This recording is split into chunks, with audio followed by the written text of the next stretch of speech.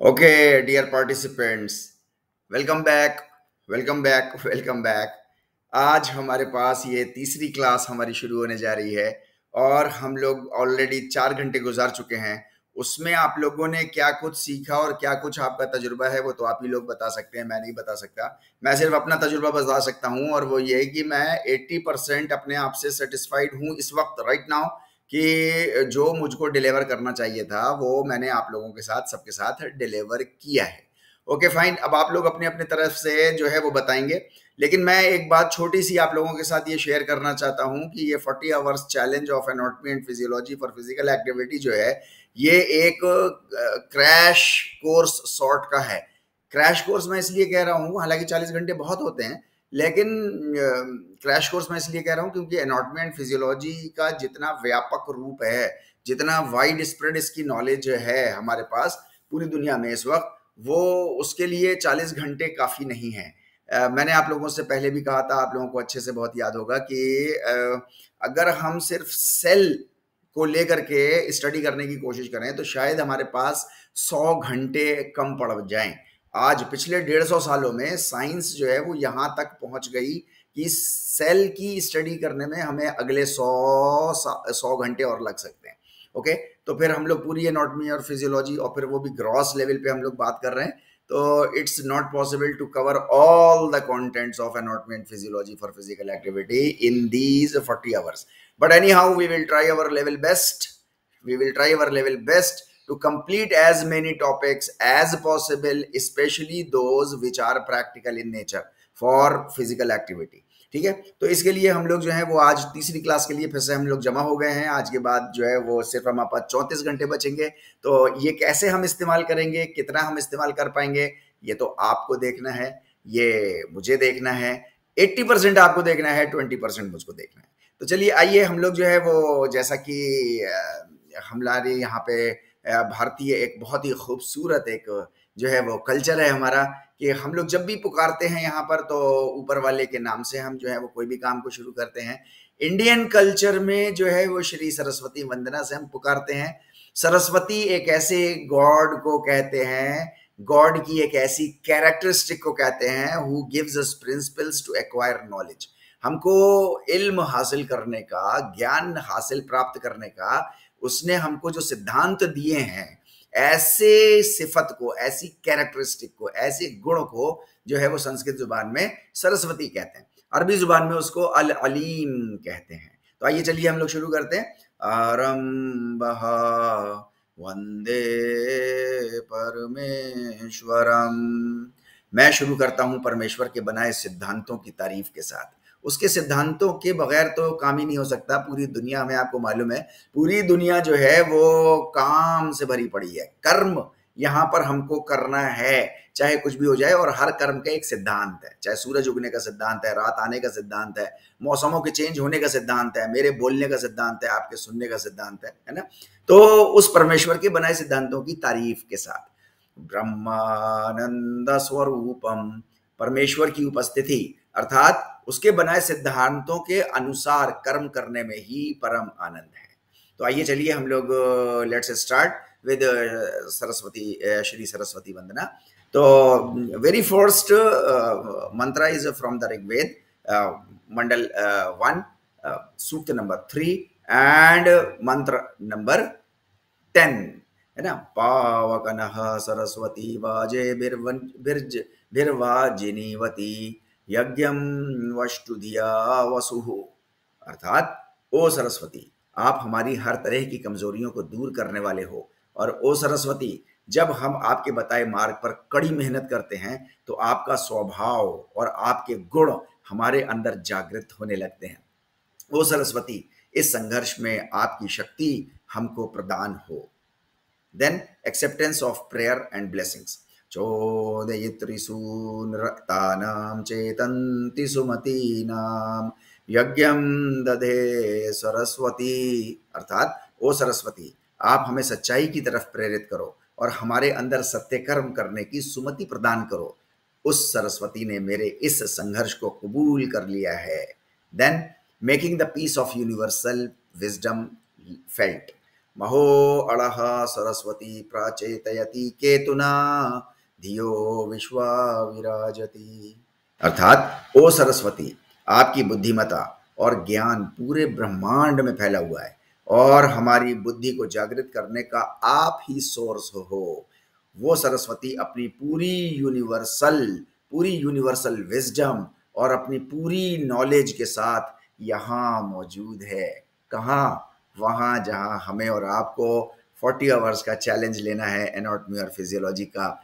उसके जो उसूल हैं, उसके जो सिद्धांत हैं हासिल करने के, उनको आप पूरा करेंगे तो आप कर पाएँगे। और उन उसूलों में, कई उसूलों में, पीछे हम लोग डिस्कस करते चले आ रहे हैं, सबसे इंपॉर्टेंट उसूल है help others in learning help others in learning keep learning one new thing each day और दूसरों को भी आप सिखाते रहिए। फिर आप देखिए किस तरीके से आपको श्री सरस्वती वंदना ये आपको काम आती है। और अगर आपने principles to acquire knowledge of anatomy and physiology पूरे नहीं किए तो ये श्री सरस्वती वंदना को सिर्फ़ मुँह से पढ़ लेना, ये कोई काम हमारे और आपके नहीं आता है।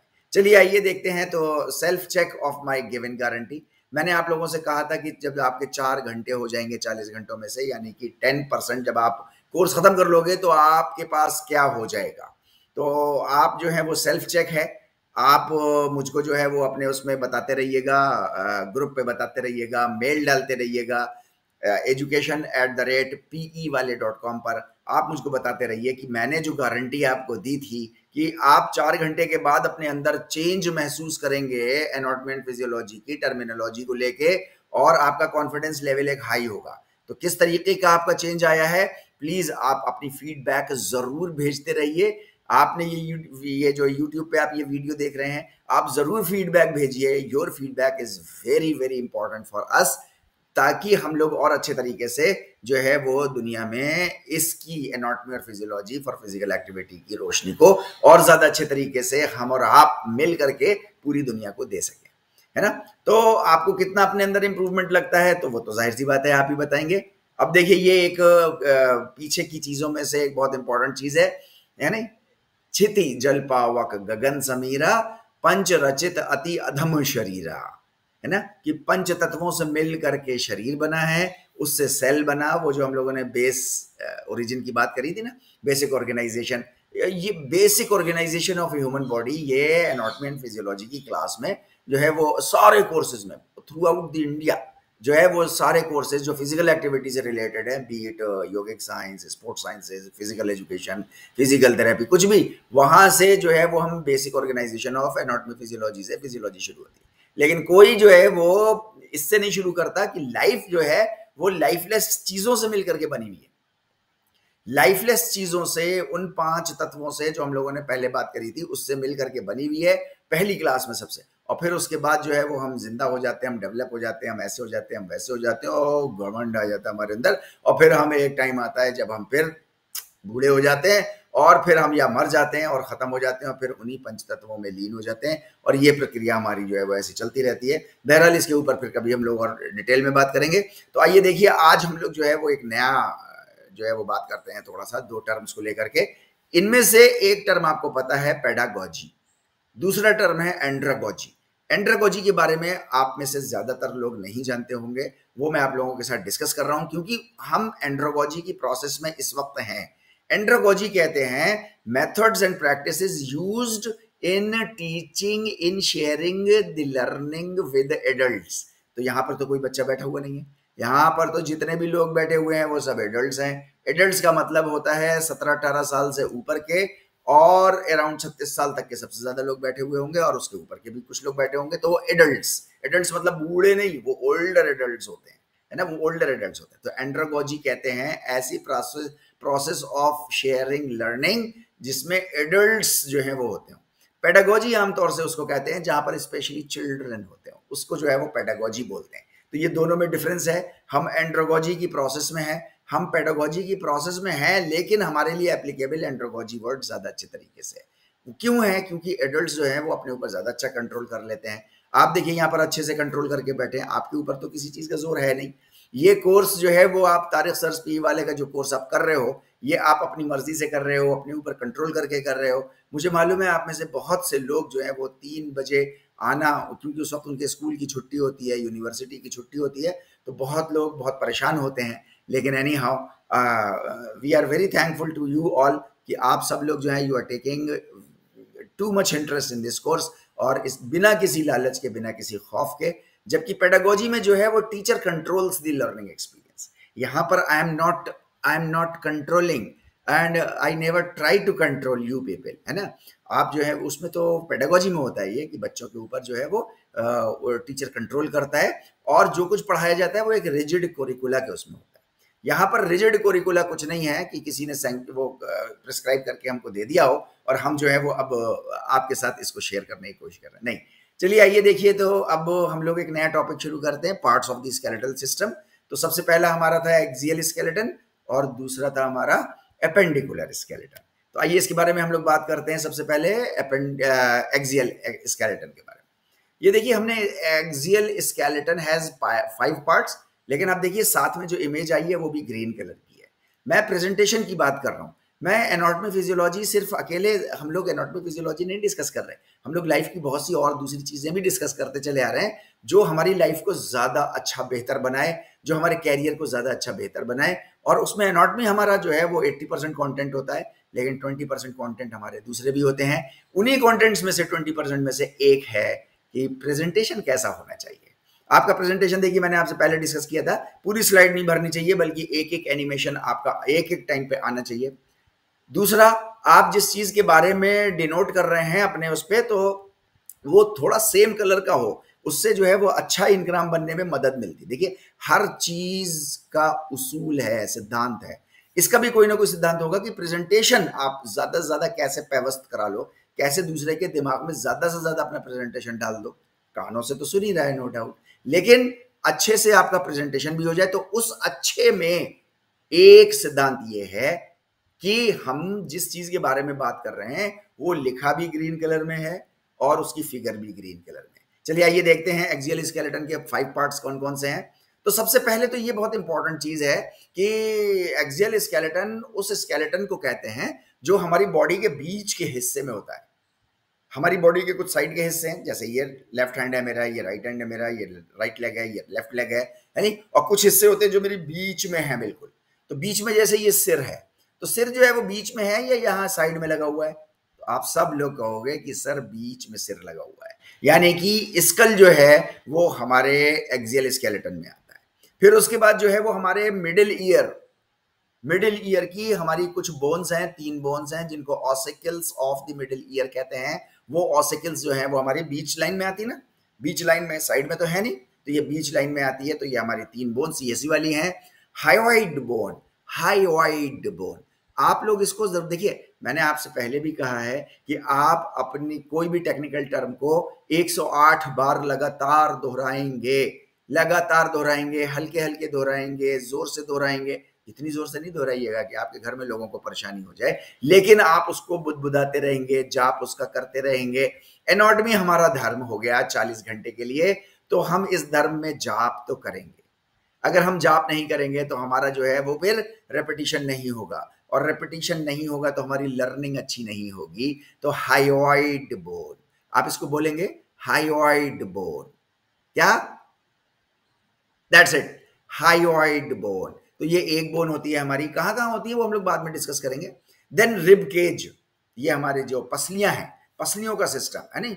कहते हैं ना हम लोग इसको twelve pairs of rib cage हमारी हैं। ट्रू रिब्स होती हैं फॉल्स रिब्स होती है, और कौन कौन सी रिब्स आप लोग आगे हम लोग डिस्कस करेंगे सब, है ना? इसमें जो है वो स्टर्नम भी होती है। स्टर्नम कौन सी बोन होती है? तो कोई भी कहेगा ये सामने वाली होती है। नहीं, इसको प्रैक्टिकली कैसे फील करेंगे? तो हम प्रैक्टिकली ऐसे फील करेंगे। देखिए मैं अपना ये खोलता हूँ। आप गले में यहाँ पर, है ना? जहाँ पे गले में आपके सब मुलायम हिस्सा है। एक हिस्सा आपका शुरू हो रहा है जो मज़बूत है, बिल्कुल सामने। तो यहाँ गड्ढे में आप उंगली डालिए। एक आप नीचे, आप इसी के नीचे चलते जाइए, इसी के नीचे चलते जाइए। एक जगह आएगा आपको जहाँ पर ऐसा जो है वो रिब केज एक ये रिब का केज है और इधर एक इसका पार्ट है। इसके बीच में आप उंगली डालेंगे तो आपको ये मुलायम हिस्सा, है ना? ये मुलायम हिस्सा और ये एक मुलायम हिस्सा। ये दो मुलायम हिस्सों के बीच में ये जो हड्डी है ये जो है वो स्टर्नम होती है। स्टर्नम होती कैसी है वो मैं आपको दिखाता हूँ। देखिए, ये एक स्टर्नम मेरे पास है। ये स्टर्नम इस तरीके की होती है। इसके कुछ नॉचेस निकले हुए होते हैं। इसका कुछ जो है वो हमारी पूरी बॉडी होती है। उसके बारे में हम लोग डिस्कस करेंगे बाद में। तो ये स्टर्नम इस तरीके की है। और ये यहाँ पर फिक्स्ड है। ये छोटे किसी उसकी है, स्केलेटन की है। और ये यहाँ पर फिक्स्ड है। तो ये यहाँ से ले करके और ये यहाँ तक, एक बड़े की, एडल्ट की तो जितनी लंबी हाइट के हिसाब से आप उसमें फिगर में भी देख रहे हैं वो एक लंबी सी जो है वो हड्डी वो लटकी हुई है। तो ये रिब केज इंक्लूडिंग स्टर्नम ये 25 हड्डियाँ होती हैं। एक स्टर्नम और 24 रिब्स 12 पेयर्स 12 पेयर्स कहते कहते हमारी ऐसी आदत पड़ गई है कि हम 24 रिब्स नहीं कहते। 24 रिब्स होती हैं, एक स्टर्नम होती है तो ये 25 हमारी हो गई। इसके बाद हमारे पास वर्टिब्रल कॉलम है। वर्टिब्रल कॉलम हमारे पास जो है वो 33 बोन्स होती हैं। एक बोन उसके ऊपर दूसरी बोन उसके ऊपर तीसरी बोन, उसके ऊपर चौथी बोन, उस और फिर ऐसे करके चलती है। रिब केज की एक बोन वो सॉरी, वर्टिब्रल कॉलम की, सॉरी, वर्टिब्रल कॉलम की एक बोन, ये इस तरीके की है। सर्वाइकल वर्टिब्रल कॉलम थोड़ा सा डिफरेंट होगा, है ना? उसका स्ट्रक्चर क्योंकि उसका फ़ंक्शन कुछ डिफरेंट है। थोरेसिक का थोड़ा सा अलग होगा लुम्बोसेक्रल डिस्क ये वो कुछ अलग तरीके के होंगे। तो ये एक आपके पास है है ना? ये ये ऐसी आपकी वो है। तो ये एक है फिर इसके ऊपर दूसरी है, फिर इसी के ऊपर तीसरी है। मेरे पास हो सकती है, हो, लेकिन चलिए, अब उसमें हम लोग क्या टाइम वेस्ट करना है? आगे आएगा तो इनशाला ताला उसमें जो है वो मैं आपको और बताऊँगा। ओके फाइन तो in total axial skeleton has 84 bones कितनी बोन्स हैं? इसको याद रखिएगा। Axial skeleton has 84 bones skull की 22 स्कल में क्रेनियम और फेस यानी मिला करके 22 plus ossicle of the middle ear then hyoid bone एक और ये 25 और ये 33 सब मिला करके चौरासी बोन्स हमारे पास जो है वो चौरासी बोन्स हैं एक्सियल स्केलेटन की। आमतौर से किताबों में आपको 80 बोन्स लिखी मिलेंगी 80 इस एक्सियल स्केलेटन की, जो कि गलत है, चौरासी बोन्स होती हैं। याद रखिएगा, आप लोग तारिक सर्स पीई वाले के साथ एनाटमी एंड फिजियोलॉजी का 40 आवर्स का चैलेंज ले रहे हैं तो उस 40 आवर्स चैलेंज में आपके पास नई इंफॉर्मेशन आनी चाहिए और आप एक नए तरीके से anatomy and physiology for physical activity में इवॉल्व होने चाहिए। याद रखिएगा इसके लिए आप लोगों को 80 परसेंट मेहनत करनी है। मैं जो 20 परसेंट ही मेहनत करनी है, आपको 80 परसेंट मेहनत करनी है। एनी हाउ तो axial skeleton has how many bones yes 84 not 80 right okay fine चलिए देखिए, अब ये कीड़ा आ गया हमारा क्लिक स्क्रीनशॉट का। अब हम लोग आगे चलते हैं, है ना? तो let's discuss about each bone of the axial skeletal तो सबसे पहले हम लोग स्कल के बारे में बात करते हैं। देखिए, ये स्कल का थ्री एनिमेशन वो है है ना? मेरे पास जो है वो लाइव जो है वो स्कल का आधा हिस्सा हमारे पास मौजूद है अनफॉर्चुनेटली आधा हिस्सा जो है वो मैंने आपको बताया था ना 1991 से इसको इस्तेमाल कर रहा हूँ, है ना? प्रोफेसर मेहदी हसन सर ने जो है वो मुझको ये गिफ्ट करा था और उस वक्त जो है वो मेरे पास पूरा था, लेकिन बस मेरी नलायकी है कि जो है वो कुछ बोन्स जो है वो मुझसे टूटती गई। इस्तेमाल करेंगे आप, जब इस्तेमाल करेंगे तो टूट भी जाएँगी, यानी गिर भी जाएँगी, आपके हाथ से छूट भी जाएँगी। एनी हाउ तो मेरे पास जो है वो ये स्कल है, मेरे पास मौजूद है। आप देख सकते हैं इसमें एनिमेटेड उसमें, और ये रियल है। मेरे पास जो है वो ये रियल है। जिस इंसान का भी है, उसको शत शत नमन।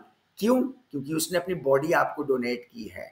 उसकी वजह से मैंने भी सीखा, उसकी वजह से प्रोफेसर मेहदी हसन साहब ने भी सीखा, उसकी वजह से आप भी सीख रहे हैं। तो इसके सामने हमें और आपको सबको शत शत नमन करना चाहिए। इसकी इज़्ज़त हमको करनी चाहिए कि इसको जो है वो किस तरीके से हम लोगों ने काटा, पीटा और क्या किया, ताकि हम अच्छे तरीके से जो है वो सीख सकें। आप देखिए, सबसे एक्सट्रीम लेफ़्ट पर आपको जो वो दिखाई दे रही है। फिगर दिखाई दे रही है, वो अंदर का हिस्सा है इस तरीके का, और वो ये हिस्सा है है ना? ये जो आपको उसमें छेद दिखाई दे रहा है, उसमें से मैंने उंगली डाली, जैसा राइट तो ये आप देख सकते हैं तो ये छेद जो है, वो ये आपका वर्टिब्रल कॉलम इसके अंदर से जो है, वो पूरा नर्व्स हमारी जो है, वो सिर में यहाँ पर ब्रेन होता है ना, पूरे उसमें ब्रेन होता है ब्रेन का यहाँ का हिस्सा जो है, ये नीचे का हिस्सा, फिर वो यहाँ से जो है, वो हमारी नर्व्स बाहर आती हैं और वो प्रोटेक्टेड होती हैं, वो फिर इससे जो है है ना? इसको हम लोग बोलते हैं वर्टिब्रल कॉलम इसके फिर ये छेद होते हैं अंदर छोटे छोटे से, इसमें से बाहर निकलती है। इसकी स्टडी हम लोग जब आएगा, तब हम लोग इसको करेंगे। तो आइए हम लोग स्कल के बारे में जो है वो समझने की कोशिश करें कि स्कल के पास कितनी हड्डियाँ होती हैं और कौन कौन सी हड्डी कौन कौन सी क्या क्या नाम से कहलाती है। तो देखिए, सबसे पहले तो स्कल जो है वो is divided into two parts ये हमें याद रखने की ज़रूरत है।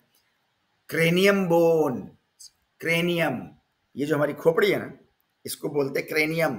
ब्रेन केस भी बोलते हैं, क्योंकि ब्रेन इसके अंदर है और ऊपर से इसके चारों तरफ़ से केस बंधा हुआ है, बॉक्स बंधा हुआ है। और ये बॉक्स बड़ा मज़बूत है। सूचर्स में है, जब हम बचपने में छोटे थे तो ये हड्डियाँ छोटी छोटी थी, यानी अब अलग अलग थी अनसुचर्ड थी, अब ये सुचर्ड हो गई और ज्वाइंट हो गई मजबूती के साथ, है ना? सूचर के बारे में हम लोग पहले से बात कर चुके हैं तो ये ब्रेन केस भी कहलाता है क्रेनियम बोन्स भी कहलाती हैं और फेस फेस इसमें आता है। तो आइए चलिए देखिए, हम लोग इसमें बात करते हैं कि क्रेनियम में कितनी बोन्स। तो क्रेनियम में आठ बोन्स और फेस में चौदह बोन्स। अभी आपको दिख रहा है कुछ? फेस में आपके कितनी बोन्स हैं? अगर मैं यहाँ से हटाऊं और ये देखूँ तो आप आप भी अपना हाथ लगा के देखो। देखो एनाटॉमी में आप ना प्रैक्टिकल रहो। अगर आप प्रैक्टिकली इन्वॉल्व नहीं होगे फिजिकली इसको नहीं करोगे ना, छुओगे नहीं, दबाओगे नहीं हर जगह से, दर्द हो तो होने दो, थोड़ा सा। लेकिन आप दबाओगे नहीं तो आप बोर हो जाओगे, क्योंकि एनाटॉमी को कहते हैं बड़ा बोर सब्जेक्ट होता है। इनफैक्ट बोर नहीं होता। उसका जो प्रेजेंटर है, जो प्रेजेंटेशन दे रहा है, जो लोगों को इन्वॉल्व कर रहा है इस लर्निंग में, अगर वो बोरियत के साथ करेगा तो आप यकीन जानिए फिजिक्स भी बड़ी बोर है। आप यकीन जानिएगा क्रिकेट भी बहुत बोर है। लेकिन उन्हीं चीज़ों को जो है, वो बड़ा डायनेमिक भी बनाया जा सकता है। उसके लिए ज़रूरी है कि जो लर्नर्स हैं, वो अपने अपने पार्ट पे बैठ के वो लगातार उससे रिलेटेड जो फ़िज़िकल एक्टिविटी है, उसको करते रहे। तो आप दबा दबा करके देखते रहिए, आपके अंदर तो चौदह बोन्स नहीं है, ये कहाँ गई? आप इसका आंसर पहले दे चुके हैं कि ये सारी सुचर्ड हो गई हैं, सब जुड़ गई हैं आपस में। अब हमारे पास सिर्फ़ एक बोन है, जो हिलती हुई होती है। आइए चलिए, आगे हम लोग डिस्कस करते हैं। तो in total skull has got 22 bones in total skull has got 22 bones बड़े ताज्जुब की बात है। ज़्यादातर किताबों में एनोटमी की, ज़्यादातर जो फ़िज़िकल एक्टिविटी में चलती हैं, उनमें ज़्यादातर में स्कल हैज़ ट्वेंटी बोन्स लिखा होता है। आई एम सॉरी टू से ट्वेंटी बोन्स नहीं ट्वेंटी टू बोन्स होती हैं। Face has got fourteen bones चौदह। चौदह plus cranium bones cranium bones are six in numbers और eight in numbers eight in numbers तो जब एट इन नंबर्स हैं तो वो ट्वेंटी टू बोन्स हो गई, है ना? आइए, किस तरीके से ट्वेंटी टू हो गई और ट्वेंटी का कंफ्यूजन कैसे होता है? वो हम लोग आपसे जो है, वो आज डिस्कस करते हैं, ठीक है? तो ये स्क्रीनशॉट आ गया one thousand one one thousand two one thousand one one thousand two लगातार मैं कहता रहूँगा वो इसलिए क्योंकि one thousand one one thousand one जब आपने कहा तो इसका एक सेकेंड हो जाता है। One thousand two one thousand three one thousand four यानी कि चार सेकेंड हो गए। ओके फाइन तो ये क्लिक स्क्रीनशॉट आपका हो गया होगा। आइए हम लोग जो है वो अब बात करते हैं। क्रेनियम हैज़ एट बोन्स है ना? एट बोन्स के बारे में हम लोग जो है वो बात करते हैं। अब ये देखिए, यहाँ पर एक गलती। क्या है मेरी गलती? वो मेरी गलती ये है कि मैंने पूरी स्क्रीन एक साथ दे दी। लेकिन ये जानबूझ के मैंने गलती करी। इससे पहले भी मैंने एक बार गलती करी थी। अभी फिर मैंने आपसे जानबूझ के गलती करी। क्योंकि जब तक कभी कभी होता है ना, जो अच्छा टीचर होता है, वो क्या करता है, जानबूझ के गलती करता है, ताकि स्टूडेंट्स उसको अपने अंदर नहीं डेवलप होने दें, वो करेक्शन कर लें। यहाँ गलती क्या है? मैं आपको लगातार बताता चला रहा हूँ, आपसे लगातार डिस्कस करता चला रहा हूँ कि हमारा प्रेजेंटेशन एक एक एनिमेशन फॉर्म में होना चाहिए। पूरी एक साथ गच दोगे, फिर कौन क्या पढ़ेगा पता ही नहीं है किसके बारे में। लेकिन एनी हाउ इस गलती से हम और आप सीखें, है ना? क्योंकि इंसान गलती करता है, लेकिन इंसान वो इंसान कहलाएगा जो गलती करे, मगर और कम और कम और कम। आइए तो सबसे पहले ऊपर वाली, सबसे ऊपर वाली हम बोन लेते हैं, इसको कहते हैं फ्रंटल बोन फ्रंटल आप लोग कहेंगे, आराम से कह लेंगे इसको, है ना? क्योंकि हम लोग इसको पढ़ते चले आए फ्रंटल फ्रंटल बोन जो है, ये इसका फ्रंटल का नाम जो है, वो लैटिन वर्ड से निकला है, आपको सामने दिखाई दे रहा है। फ्रॉन्स मीनिंग फोर हेड ये फोर हेड सामने वाली हड्डी हमारी जो है, ये फ्रंटल बोन है, एक बोन होती है ये हमारी। ठीक है? इसके नीचे है पेराइटल बोन पेरिटल पेराइटल है ना? पेरिस पेरिस पेरिस से मिलकर के बना और इसका जो है मतलब होता है वॉल ये मेन वॉल होती है. मेन ब्रेन का वो जो है मतलब ज़्यादा हिस्सा यहाँ वॉल के उसमें बंद करके चारों तरफ़ से ये रखे हुए ये टू बोन्स होती हैं. ठीक है? देन स्फीनोइड बोन स्फीनोइड स्फी स्फीनोइड नहीं स्फीनोइड फ़ी अरे यार हमारे यहाँ फ़ी बोला जाता है ना? फा फा दो अलग अलग वर्ड है है ना फिर फिर फिर। तो हम लोग इस एफ़ के साथ इस है नी it is also called as wasp bone wasp bone.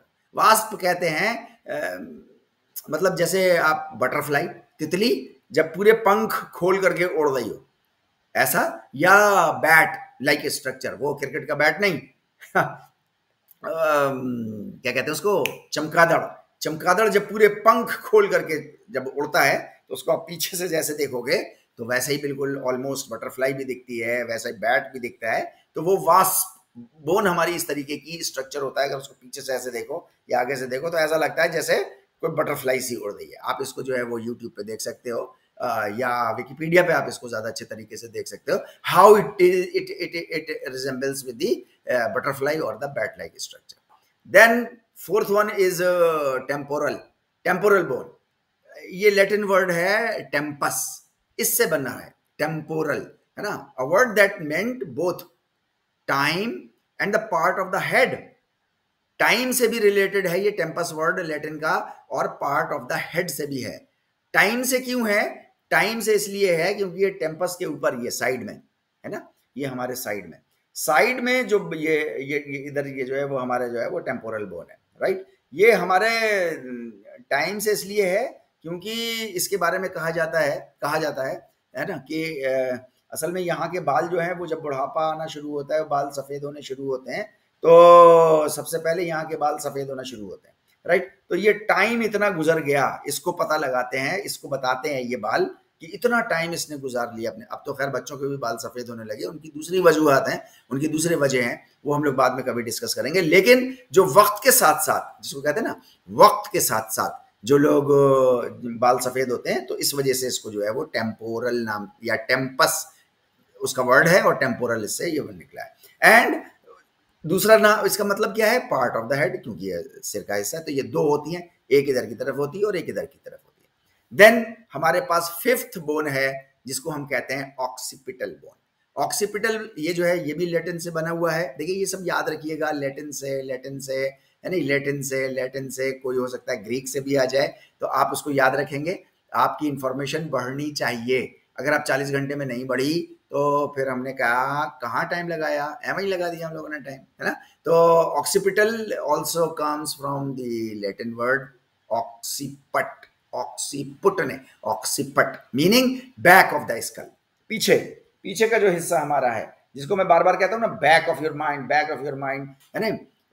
Back of your mind का मतलब ये भी होता है कि आप इसमें बहुत एक्सपर्ट हो गए, इसमें बहुत आप एक्सपर्ट हो गए ऑटोनोमिक नर्वस सिस्टम क्योंकि यही होता है सारा ऑटोनोमिक नर्वस सिस्टम सारा यही होता है, हम लोग आगे पढ़ेंगे जब नर्वस सिस्टम में आएँगे तो बैक ऑफ़ दी स्कल ये जो है वो ऑक्सीपिटल बोन है हमारी, ठीक है? आपको इसमें दिखाई भी दे सकती है, ये बोन का हिस्सा, ये बोन का हिस्सा हमारा जो है वो ऑक्सीपिटल है, इधर का हमारा जो है वो टेम्पोरल है, ये कट गया हिस्सा, हमारा जो है वो फ्रंटल हमारा है, और इसके साइड में यहाँ पर ये बोन होती है, जिसको हम लोग जो है वो स्फिनोइड हम लोग बोन कहते हैं, ठीक है? देन एक बोन है एथमोइड बोन एथमोइड जो है वो नाक के अंदर, आपको ये लाल लाल हिस्सा आपको दिखाई दे रहा होगा, बल्कि आँखों के अंदर, आँख के अंदर, है ना? अंदर जो है वो एक बोन होती है, वो स्फिनोइड बोन है. ये सॉरी एथमोइड बोन है. एथमोइड जो है, ये ग्रीक वर्ड से बना है. तो आपको कोई सवाल पूछ सकता है कि क्रेनियम में कितनी हड्डियाँ हैं? तो आठ हड्डियाँ हैं. तो आठ हड्डियों में से कितनी हड्डियों का नाम लेटिन में है और कितना जो है वो नाम ग्रीक में है? या कोई ग्रीक में नहीं है ट्रू और फॉल्स तो आप कहोगे फॉल्स एथमोइड बोन का नाम जो है वो ग्रीक पे है एथमोस एथमोस कहते हैं सीव. एक छलनी टाइप की ऐसी है ये, है ना? ये एक बोन होती है। ये बड़ी इंटरेस्टिंग बोन है। इस इंटरेस्टिंग बोन के बारे में जो है वो इसको कहा जाता है कि इसके अंदर जो है वो मैग्नेटो रिसेप्टर्स हैं। मैग्नेटो रिसेप्टर्स मैग्नेटो रिसेप्टर्स, वो रिसेप्टर्स होते हैं जो नेविगेशन में काम आते हैं।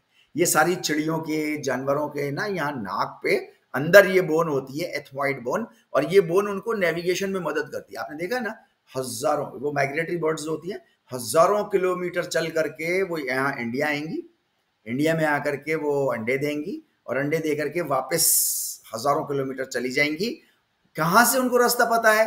एक बर्ड भी उनकी इधर से उधर नहीं होती, यानी सारी अपने वापस चली जाएँगी। और ताज्जुब और हैरत और आश्चर्य की बात तो ये है कि यहाँ जो अंडे निकले, उनको किसी ने कोई ट्रेनिंग नहीं दी, बच्चे जो निकले अंडे से, उनको किसी ने ट्रेनिंग नहीं दी, कुछ नहीं दी, और ये वापस उड़े और जब उड़ने के काबिल हो गए, उड़े और वापस जा करके मिल गए। जो लोग इस नेविगेटरी बर्ड्स के ऊपर जो माइग्रेटरी बर्ड्स होती हैं, इनके नेविगेशन पे जो लोग स्टडी करते हैं, वो कहते हैं इनके एथमॉइड बोन जो है इसमें जो है वो नेविगेशन सेंस लगा हुआ है। यही नेविगेशन सेंस हमारे अंदर भी है, लेकिन आज की डेट में इसको मॉडर्न एनाटॉमी में कहते हैं कि ये वेस्टिजियल प्रॉपर्टी हमारी हो गई। वेस्टिजियल मतलब पहले कभी काम आती होगी, पहले कभी नेविगेशन में इंसानों को काम आती होगी, आज नेविगेशन में ये काम नहीं आती। लेकिन मेरा अपना मानना है कि इसको डेवलप किया जा सकता है। जब इसके अंदर मैग्नेटो रिसेप्टर्स मौजूद हैं नेविगेशन में ये हर उसमें काम आता है सारे एनवायरनमेंट में देखिए एक हम लोग जितनी भी चीज़ें सीखते हैं ना ये सब हम लोग आपस में मतलब जितना इंसानियत ने अभी तक सीखा है इंसान ने अपनी तरफ़ से कोई नई चीज़ नहीं बनाई है। उसने जितनी भी चीज़ें बनाई हैं जितनी भी चीज़ें इन्वेंट की हैं जितनी भी चीज़ें डिस्कवर की हैं वो सारी की सारी अपने चारों तरफ़ से सीख सीख के की हैं। जानवर कैसे उड़ रहा है हेलीकॉप्टर बनाया तो उसने वो देख करके बना दिया वो हेलीकॉप्टर एक होता ना आ, क्या कहते हैं उसको हम मैं तो हेलीकॉप्टर ही जानता हूँ उसको तो वो कि ऐसे उठता है, ऐसे चला जाता है। कुछ जो है वो एरोप्लेन्स बना दिए, कुछ पेड़ों को देख के बनाया, कुछ चीज़ें उसने जानवरों को देख के बनाई, कुछ चीज़ें ऐसे बनाई तो इसको कहते हैं बायोमिमिक्री बायोमिमिक्री बायोमिमिक्री मतलब आपने अपने चारों तरफ़ को एनवायरनमेंट को देख करके बायोलॉजी को देख करके आपने जो है वो उसकी मिमिक्री कर ली। मिमिक्री जानते हैं हम लोग सब लोग? तो मिमिक्री उसकी कर ली, है ना? तो मेरा कहने का मतलब सिर्फ़ इतना सा डिस्कस करने का, ये एथमोइड बोन जब हमारे अंदर मैग्नेटो रिसेप्टर्स लिए हुए है, हमारे अंदर जब मैं नेविगेशन की नेचुरल हमारे पास जो है वो प्रॉपर्टी मौजूद है, जो आज इंसान नहीं इस्तेमाल कर पा रहा हज़ारों साल से लेकिन अगर इसको डेवलप करें तो मेरा अपना एक आइडिया है और मैं उस पर काम करने की कुछ कोशिश करूँगा। योगिक साइंसेस के ऊपर भी जो है वो कुछ हम लोग रिसर्च करते हैं, कुछ काम करते हैं। तो योग के अंदर जो है वो इसका ज़रूर कुछ ना कुछ एथमॉइड बोन का इस्तेमाल होगा कि हम अपनी नेविगेशन प्रॉपर्टीज़ खुद इस्तेमाल कर लें। अगर ऐसा हो गया तो फिर एड्रेस किसी की पूछने की ज़रूरत नहीं है। आप अपने नेविगेशन सेंस इस्तेमाल करोगे और माइग्रेटरी बर्ड्स की तरह हज़ारों किलोमीटर का डिस्टेंस आप बगैर जीपीएस के पूरा कर सकते होंगे। लेकिन उसके लिए ज़रूरी है कि हम इस एथमॉइड बोन तो अगर आपको कहीं कोई सवाल पूछे या कोई आप डिस्कशन करें तो एथमॉइड बोन के बारे में आप डिस्कस करिए। आप देखिए आपको कितना अच्छा लगेगा, है नहीं? सामने वाले को भी अच्छा लगेगा। इसके अलावा आपको ये जो स्कल दिखाई दे रहा है, पूरा ये पूरा स्कल है, इसमें जो है व्हाइट जितनी भी बोन्स हैं, वो सब फेस की हैं यानी कलर्ड जितनी भी बोन्स हैं, वो सब क्रेनियम की हैं, आपको दिखाई दे गया। तो अब आप लोग मुझको बताइए कि इसमें आपने क्या क्या नया सीखा? आप बोलते रहिए, मैं सुन रहा हूँ।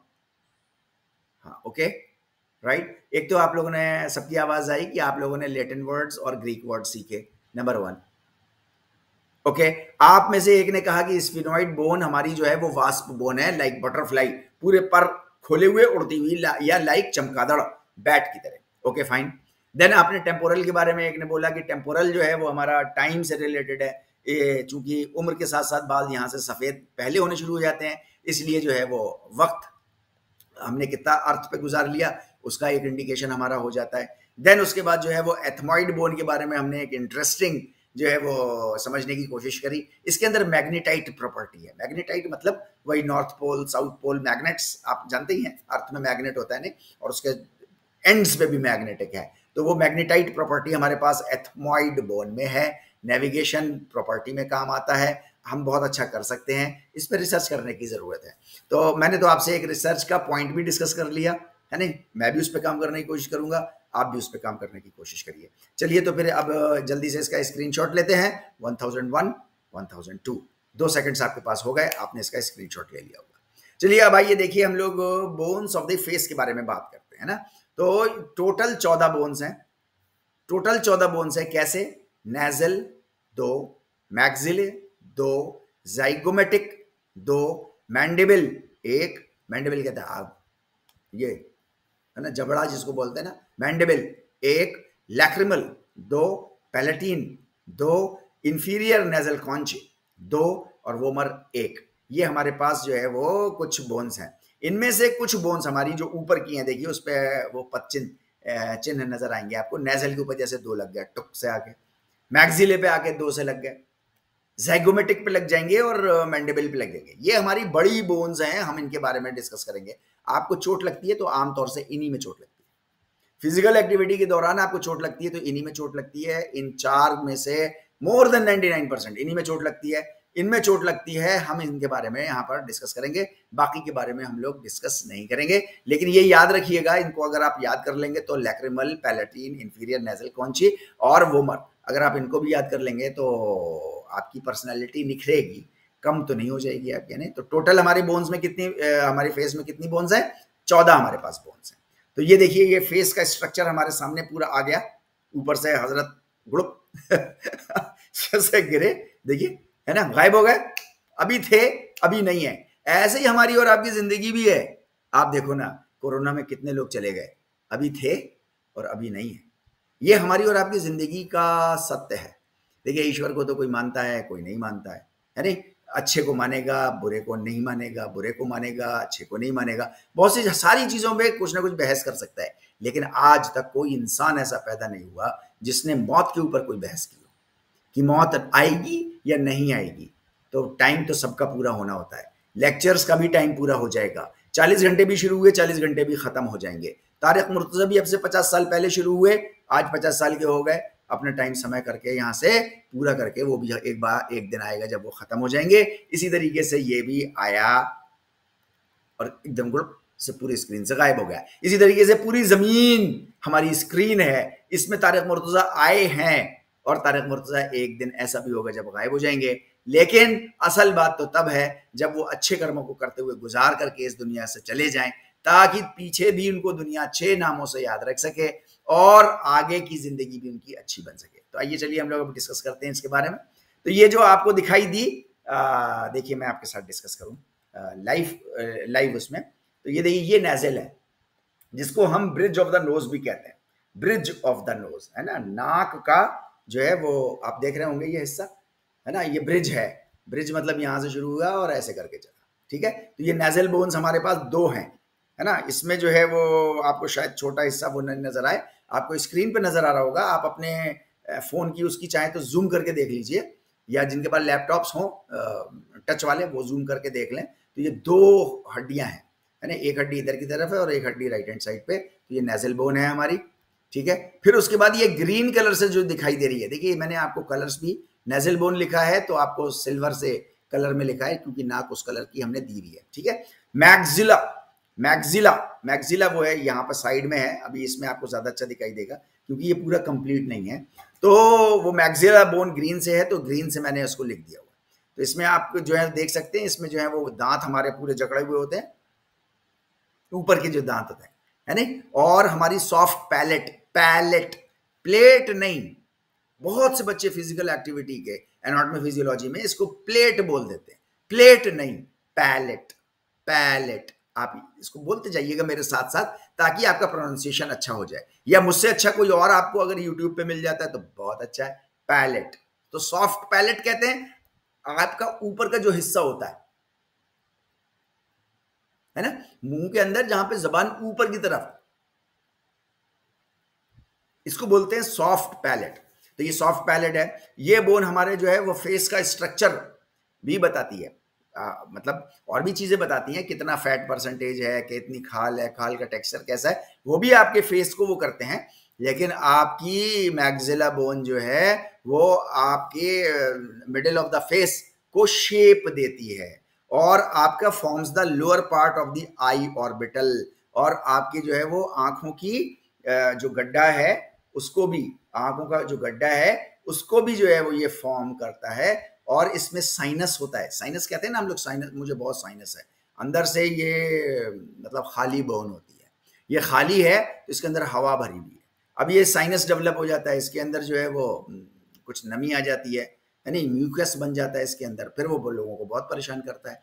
तो उसके लिए जो है वो, कभी हम लोग और साइनस के बारे में भी बात कर सकते हैं। तो ये contain sinus and supports nose और नोज़ की दो हड्डियाँ ना, आपको दिख रही हैं नेजल बोन्स दो हड्डियाँ हैं। तो उनको ये फिर सपोर्ट करती है पीछे से, है ना? साइड से सपोर्ट करती है तो ये अपनी जगह पे टिकी रहती है। ये जो हमारा ब्रिज ऑफ़ नोज़ है ब्रिज ऑफ़ नोज़ कितनी बोन्स हैं? दो बोन्स हैं। Nasal bones are two in number maxilla bones कितनी है? Maxilla bones are two in number इसको याद रखेंगे हम लोग, ठीक है नहीं? राइट देन जाइगोमेटिक ये जो हमको पर्पल कलर में नज़र आ रही है उसको मैंने पर्पल कलर बनाने की कोशिश की, पता नहीं कितना बना, कितना नहीं बना, लेकिन वो बस मेरे लैपटॉप पे इतने ही कलर्स थे तो वो जाइगोमेटिक बोन्स जो है, इसको चीक बोन भी बोलते हैं। ये जो बोन है हमारी, है ना? हिला के देखिए जरा। जो लोग चश्मा पहने वो मेरी तरह चश्मा उतार लें और हिला करके देखिए इसको। पकड़िए पकड़िए पकड़िए, हाथ से पकड़िए, शाबाश। और इसको फील करिए। देखिए क्या, कैसे ये उठी हुई है है ना? यहाँ से देखिए, इसको छू करके देखिए, है ना? ये हमको दिख रही है। आँख बंद कर लीजिए, कहीं आँख में उंगली ना घुस जाए आपके। टेक केयर लेकिन ये आपका, ये बहुत नुकीली भी हो सकती है, चपटी भी हो सकती है, ये गोल राउंड शेप में भी हो सकती है। तो ये आपका जो है वो साइड का फेस डिटरमिन करती है कि आपका साइड का फेस किस तरीके का होगा, है ना? तो ये हमारी जो है वो, हमारी जाइगोमेटिक बोन है और जाइगोमेटिक बोन भी जो है वो दो तरीके की होती है। जाइगोमेटिक बोन देखिए ये ये वाली बोन जो है वो ये जाइगो और नीचे होता है इसका तो और वो होता हमको अच्छा लगता। लेकिन यानी हाउ अब हमारे पास इतना ही स्ट्रक्चर है। तो ये बोन हमने यहाँ पर छू करके देखी इसकी। तो ये बोन हमारी जाइगोमेटिक बोन है। इसको चीक बोन भी बोलते हैं। तो चीक बोन का एनाटॉमिकल नाम जाइगोमेटिक बोन है। ये हमको और आपको याद करने की ज़रूरत है। इसको आप याद कर लेंगे। देन मैंडेबल ये अकेली बोन है जो हमारे पूरे स्कल में, पूरे स्कल एरिया में जो है वो ये बोन हिलती है। अकेली बोन है movable only movable bone in the face इसके अलावा कोई और बोन हमारी हिलती नहीं है। सब सुचर्ड है परमानेंटली फिक्स्ड है। कितनी 22 बोनों में 22 बोन्स में 21 बोन्स हमारी सुचर्ड हैं। एक बोन हमारी जो है, वो हिलती है। ठीक है? और ये हमारा लोअर फेस हमारी चिन ये किस तरीके की होगी? इसको जो है, वो ये शेप देता है। तो ये शेप जो है, वो आपका कुछ किसी का देखिए, आप थोड़ी सी चिन आगे निकली होती है। किसी की थोड़ी अंदर की तरफ़ होती है तो ये बोन का थोड़ा फॉर्मेशन ऊपर नीचे जेनेटिक कोड की वजह से वो चेंज होता रहता है। ज़ाहिर सी बात है, वो फैट और आपकी खाल उसके ऊपर भी डिपेंड करता है है ना? लेकिन आपकी जो बेसिक फॉर्मेशन है, जो बेसिक बुनियाद है, जो आपको बेस है, वो आपको जो है, वो आपके मैंडेबल से मिलता है। तो आपके पास कितनी बोन्स हो गई? जो मेजर बोन्स हैं आपके फेस की, एक, बताइए नेजल बोन इसको ब्रिज ऑफ़ नोज़ है ना? ये दो हैं। मैग्जिला बोन्स ये भी हमारे पास दो हैं, ठीक है? फिर उसके बाद जैगोमेटिक बोन्स ये चीक बोन कहलाती है, ये चीक बोन कहलाती है, ये भी हमारे पास जो है वो दो हैं। एंड देन हमारे पास जो है वो एक मैंडेबल है। मैंडेबल एक है, ये जॉ हमारा, है ना? जिससे हम खाना चबाते हैं। अच्छा कैसा लगता तमाम इंसानियत को क्या होता? अगर ये भी फिक्स्ड होती स्विचर्ड होती देखो आप अपने दांत पीस लो, बंद कर लो। कैसा लग रहा है? है ना? तो जस्ट फन एक्टिविटी है ना? कैसा लग रहा है? ये कोई सवाल नहीं हुआ। भाई, दो ही आँखें क्यों हैं? भाई, तीसरी आँख क्यों नहीं है यहाँ पे? अब एक आँख पीछे भी होनी चाहिए थी। तो अब पीछे होनी चाहिए तो मैं पीछे का भी आसानी से देख लेता। नहीं, आँखें आगे ही होनी चाहिए थी। आँखें आगे ही होनी चाहिए थी। इसके लिए हमारे लिए लेसन है इसमें। बहुत इंपॉर्टेंट आप बताओ क्या? हमारी आँखें आगे हैं, सबकी आँखें हैं इंसानों की। मतलब क्या है? इसका मतलब जो मैं समझा, वो मैं आपसे शेयर कर रहा हूँ। इसका मतलब है कि इंसान को सारी परेशानियाँ, सब कुछ है एवरीथिंग इज़ फाइन सारी निगेटिविटी है, लेकिन आगे देखो आगे देखो। पीछे आँख नहीं लगाई कि पीछे की चीज़ें देखते रहो और याद करते रहो और कोड़ते रहो और जो है वो खून जलाते रहो अपना। नहीं, कुछ मत करो, पीछे ठीक है, हो गया, जो हो गया उस पर आपका कंट्रोल नहीं है। आपका कंट्रोल फ्यूचर पे भी नहीं है नो डाउट लेकिन आगे की ज़िंदगी देखो और प्रेजेंट में जियो, मेहनत आज करो। मैं आपके साथ इस वक्त मेहनत कर रहा हूँ। आप इस वक्त मेहनत कर रहे हो। इस वक्त मेहनत कर रहे हो आगे का देख करके या पीछे का देख करके। तो आगे का देख करके, पीछे से सीखो। तो सीखने के लिए आपको फिर बहुत सारी चीज़ें हैं। आपको हिस्टोरिकल इतने डेवलपमेंट्स हैं हिस्टोरिकल इतनी लर्निंग हमारे पास मौजूद है। हिस्टोरियंस ने इतना इतना काम किया है बड़ा बड़ा कि आपको वो जमा करके दे दिया है। आप आँखों से सामने से उसको पढ़ो, सामने से देखो, सामने कानों से सुनो और आगे की ज़िंदगी को देखो। तो आँख हमारी जो है वो आगे है। आगे की ज़िंदगी देखो। पीछे की ज़िंदगी में मत जियो। अच्छी थी, बहुत अच्छा था। बुरी थी, उसने आपको लेसन सिखाया। क्या लेसन सिखाया? बहुत सारे लेसन हमको आपको आगे कभी हम लोग इसके ऊपर भी क्लास ले सकते हैं। तो आगे हमारी ये आँखें हैं। ये आँख हमारी, अब ये सवाल ही नहीं है कि साहब हाथ में हमारे यहाँ पे उंगली में आँख होती? उंगली में आँख होती? तो हम जो है वो पीछे का भी देख लिया करते अपनी पीठ कहाँ दाना निकला हुआ है। बड़ी परेशानी होती है ना, पीछे कहाँ दाना निकला हुआ है। तो हम यहाँ ऐसे करके देख लेते यहाँ सर में फोड़ा निकला है, वो देख लेते नहीं, अगर यहाँ पे आँख होती तो क्या नुकसान होता?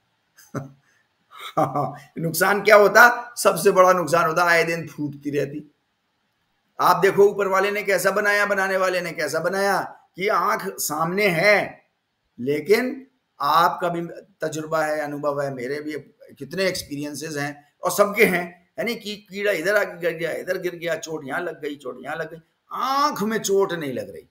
बहुत रेयर है जो आँख में डायरेक्ट आपके चोट लग जाती है। बॉल भी लग जाती है तो यहाँ आते आते कहीं इधर शिफ्ट हो जाती है हाथ। सिर हल्का सा भी शिफ्ट हुआ तो ऐसा प्रोटेक्टिव बनाया। लेकिन अगर यहाँ बनी होती तो आए दिन आँख फूटती रहती और आँखों के डॉक्टर के बल्ले बल्ले बल्ले बल्ले हो जाती उनकी, है ना? तो ये हमारे बोन्स थी, चार बोन्स थी जिनको हम लोगों ने समझने की कोशिश की। ठीक है? तो दिए देखिए क्लिक स्क्रीनशॉट का कीड़ा हमारा जो है वो आ गया कर कर करता हुआ। आप खींच लीजिए इसको। 1001 1002 दो सेकंड हमारे हो गए। अब आइए हम लोग जो है वो बात करते हैं एक्सियल स्केलेटन के ऊपर। है नहीं ओ सॉरी एक्सियल नहीं। मैंने आपसे बोला, मैं लगातार आपसे गलत बोलता चलूँगा। लगातार गलत बोलता चलूँगा। जानते, बूझते गलत कभी कभी अनजाने में। और उसको आप सही करेंगे लगातार। तो कहीं आप भी अटेंटिव बने रहिए बिल्कुल लगातार। क्योंकि हम लोग आमने सामने नहीं बैठे हुए हैं। अगर आप गौर से नहीं सुनेंगे, गौर से नहीं देखेंगे, और गौर से सुनना और देखना तो ट्वेंटी परसेंट है। बाकी का एट्टी परसेंट तो रिविजन पर डिपेंड करेगा। तो आप रिवाइज भी, बहुत ही फोकस के साथ, बहुत अटेंशन के साथ आप रिवाइज भी करते रहेंगे। तो ये अपेंडिकुलर है। अब आप देखिए स्लाइड प्रेजेंटेशन अपेंडिकुलर जो है वो हमारे साइड के। साइड की बोन्स साइड की बोन्स में एक स्कैपुला है और हाथ है हमारे, हमारा क्लेविकल है, ये क्लेविकल कहलाती है। ये सब हम डिस्कस करेंगे आगे आगे चल के और आगे, है ना? अभी हम लोग डिस्कस इसको नहीं करेंगे। डिटेल में, जैसे डिटेल में हम लोगों ने स्कल की बोन्स करी है, आगे हम लोग फिर इसको भी डिस्कस करेंगे। ह्यूमरस है, इसको ह्यूमरस कहते हैं। हमारे रेडियस और अल्लाह के बारे में हम लोग पिछली क्लास में डिस्कस कर चुके हैं कि अगर हम एनाटॉमिकल पोजीशन में खड़े होते हैं, हाथों को साइड करके तो हमारे अंगूठे दोनों हाथों के हाथों के अंगूठे हमारे बाहर की तरफ़ होते हैं। नहीं? पैरों के अंगूठे हमारे अंदर की तरफ़ होते हैं। पैरों के अंगूठे अंदर की तरफ़ होते हैं नोट कराना हम और छुंगली, जो छोटी उंगली होती है पैरों की, वो बाहर की तरफ़ होती है। लेकिन हाथों में एनाटॉमिकल पोजिशन में ये अपोजिट होते हैं। दोनों अपोजिट होते हैं। अंगूठा बाहर होता है और हमारी छोटी लिटिल फिंगर जो है, ये हमारी अंदर की तरफ़ होती है राइट तो जब ऐसे होती है तो हमारा रेडियस जो है, वो, हमने पिछली बार हम लोगों ने डिस्कस किया था ना रेडियस हमारी जो है, वो किधर होती है? अंगूठे की तरफ़ होती है। एक ऐसे बोन है और एक ऐसी बोन है राइट तो इधर हमारी जो अंगूठे की तरफ़ बोन है स्ट्रेट वो क्या है? वो हमारी रेडियस है। और जो हमारी छुंगली की तरफ़ बोन है, वो हमारी अल्लाह है। मैंने आपसे डिस्कस किया था कि जब मैंने वॉज़ दी डिग्री स्टूडेंट तो मुझे ये बड़ी कंफ्यूजन होता था कि किधर रेडियस है और किधर अल्लाह है। तो मैं कैसे करता था इसको? मैंने जो है वो यहाँ बड़ा बड़ा लिख लिया था। अंगूठे पे भी लिख लिया आर और यहाँ पर भी मैंने लिख लिया रेडियस और इधर लिख लिया अल्ला और यहाँ पर छुंगली पे भी लिख लिया मैंने परमानेंट मार्कर से। हो गया ना, कई हफ़्ते का काम हमारा। हाथ पैर धोते रहे, सब कुछ करते रहे, और उसमें जो है वो हमारा ये लिखा रहा और रट गया। आज की डेट में अब ऑटोनॉमिक नर्वस सिस्टम में चला गया, वो सेंट्रल नर्वस सिस्टम से। सेंट्रल नर्वस सिस्टम में कंफ्यूजन हो रहा था। ऑटोनॉमिक नर्वस सिस्टम में ऑटोमेटिकली सेट हो गया है। तो अब कोई भी सोते हुए भी पूछता है तो मैं बता दूँगा उसको कि साहब ये अंगूठे की तरफ़ जो है वो अल्ला होती है और छुंगली की तरफ़ जो है वो रेडियस वेरी गुड आप लोग बहुत अटेंटिव हैं। इज़ वेरी गुड अंगूठे की तरफ़ रेडियस होती है और छुंगली की तरफ़ अल्ला होती है। ओके फाइन तो हमारे इसमें अपेंडिकुलर स्केलेटन में शोल्डर्स आते हैं, हमारे आर्म्स आते हैं, हमारी फिंगर्स आती हैं, हमारा जो है वो लेग्स आते हैं, हमारे जो है टोज आते हैं। ये याद रखिएगा कि इंग्लिश में फिंगर्स जब हम बोलते हैं तो पैरों की फिंगर्स नहीं, पैरों के टोज हाथों की फिंगर्स इसको याद रखिएगा, ठीक है नहीं? तो क्लिक स्क्रीनशॉट 1001 1002 आपके पास टाइम था दो सेकंड का, आपने उसको इस्तेमाल कर लिया होगा। चलिए, आइए अब हम लोग जो है वो आगे बात करते हैं फ़ंक्शंस ऑफ़ स्केलेटल सिस्टम ये सब बहुत कॉमन चीज़ें हैं और इस पर हम लोग बहुत ज़्यादा टाइम नहीं लगाएँगे, लेकिन एनी हाउ फिर भी हम लोग कुछ तो टाइम लगाएँगे ही ना। इंपॉर्टेंट है। तो सबसे पहला फ़ंक्शन क्या है स्केलेटल सिस्टम का? छह फ़ंक्शंस बहुत इंपॉर्टेंट है। सबसे पहला है कि it protects internal organs internal organs को ये प्रोटेक्ट करके रखता है। आप लोग नाम बता सकते हैं? अगर मैं आपसे पूछूँगा तो आप लोग नाम बता सकते हैं। जैसे ब्रेन, हमारी क्रेनियम है ना? आ, मुझे चोट लग रही इसको नहीं लग रही होगी हड्डी है ये है ना? एनी हाउ ये जो है वो हमारे ब्रेन को जो है वो अंदर रहता है इसको प्रोटेक्ट करके रखती है। वरना आप ऐसे मार दो ना किसी के ऐसा हल्का सा जैसे हम स्ट्राइकर मारते हैं ना उसके कैरम पे इतनी ज़ोर से मार दो तो मर जाएगा आदमी तो। नहीं मरना नहीं है। हमको जो है वो ये प्रोटेक्ट करके रखता है हमारे लीवर है किडनी है कितने आप लोगों ने जवाब दे दिए इतनी देर में है ना? तो ये हमारा जो है वो प्रोटेक्ट करके रखता है। ये हमारा स्केलेटल सिस्टम जो है वो बिल्कुल it acts like army in any देश। जैसे हमारी आर्मी है ना, वो बिल्कुल मज़बूत इरेक्ट और हम सब इंटरनल ऑर्गन्स हैं। सारे कॉमन सिटीजन जो हैं, मैं और आप, हमको प्रोटेक्ट करके रखती है ना तो हम तो इंटरनल ऑर्गन्स हैं। हमारे भी अपने कुछ ज़रूरी काम है, लेकिन हमारी आर्मी जो है वो इज़ अवर स्केलेटल सिस्टम इसीलिए आपने देखा होगा ना आर्मी के लोग बड़े ऐसा, सीधे, ऐसा रहते हैं, और सीरियस रहते हैं। यस ऐसी स्केलेटल सिस्टम हमारा बिल्कुल सीधा रहता है और बिल्कुल जो है वो टाइट रहता है बिल्कुल। ऐसे हमारे जो है वो सोल्जर्स होते हैं, उनको शत शत नमन कि उनकी वजह से हम इंटरनल ऑर्गन्स की सेफ्टी रहती है।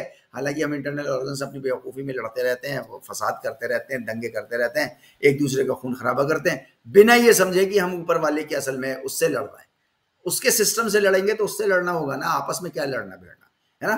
तो हम लोगों को प्रेम भाव से, सद्भाव के साथ रहना चाहिए। ये हमारे लिगामेंट ने हमको सिखाया, ये हमारे टेंडन ने हमको सिखाया, ये हमारी पूरी एनाटॉमी फिजियोलॉजी हमको सिखाती है। हम पढ़ते ही ऐसे हैं कि एक एक स्केलेटल सिस्टम एक अलग पढ़ता है मस्कुलर सिस्टम अलग पढ़ता है, जबकि स्केलेटल सिस्टम अलग नहीं है मस्कुलर सिस्टम अलग नहीं है नर्वस सिस्टम अलग नहीं है डाइजेस्टिव सिस्टम अलग नहीं है, ये एक होल ऑर्गेनिज्म का हिस्सा है। चूँकि हमारी अकल की कमज़ोरी है कि एक वक्त में एक बात समझती है, इसलिए हम इसको एक एक करके पढ़ रहे हैं। इसलिए नहीं पढ़ रहे कि अलग अलग सिस्टम ही है। अलग अलग सिस्टम कुछ नहीं है। है नहीं? माफ़ करिएगा। आपके या मेरे फुटबॉल खेलते पे जब अपने फ़िज़िकल एक्टिविटी कोर्स में, जब हमारे, मेरे पैर में ग्रेटर टो में, पैर के अंगूठे में ग्रेटर टो कहते हैं ना उसको, जब ग्रेटर टो में चोट लग गई तो पढ़ नहीं पाए।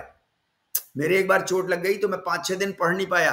अरे बाबा, क्या अंगूठे से पढ़ता था पैर के? क्या मैं पैर के अंगूठे से पढ़ता नहीं, मैं पैर के अंगूठे से थोड़ी पढ़ता था। मैं कहाँ से पढ़ता था? मैं कहाँ से पढ़ता था? है ना, मैं तो अपने यहाँ माइंड से पढ़ता था, अपने ब्रेन से पढ़ता था, अपनी मेमोरी से पढ़ता था, अपनी आँखों से पढ़ता था, कानों से सुन रहा था, लेकिन मैं कहीं कंसंट्रेट नहीं कर पा रहा था। क्यों?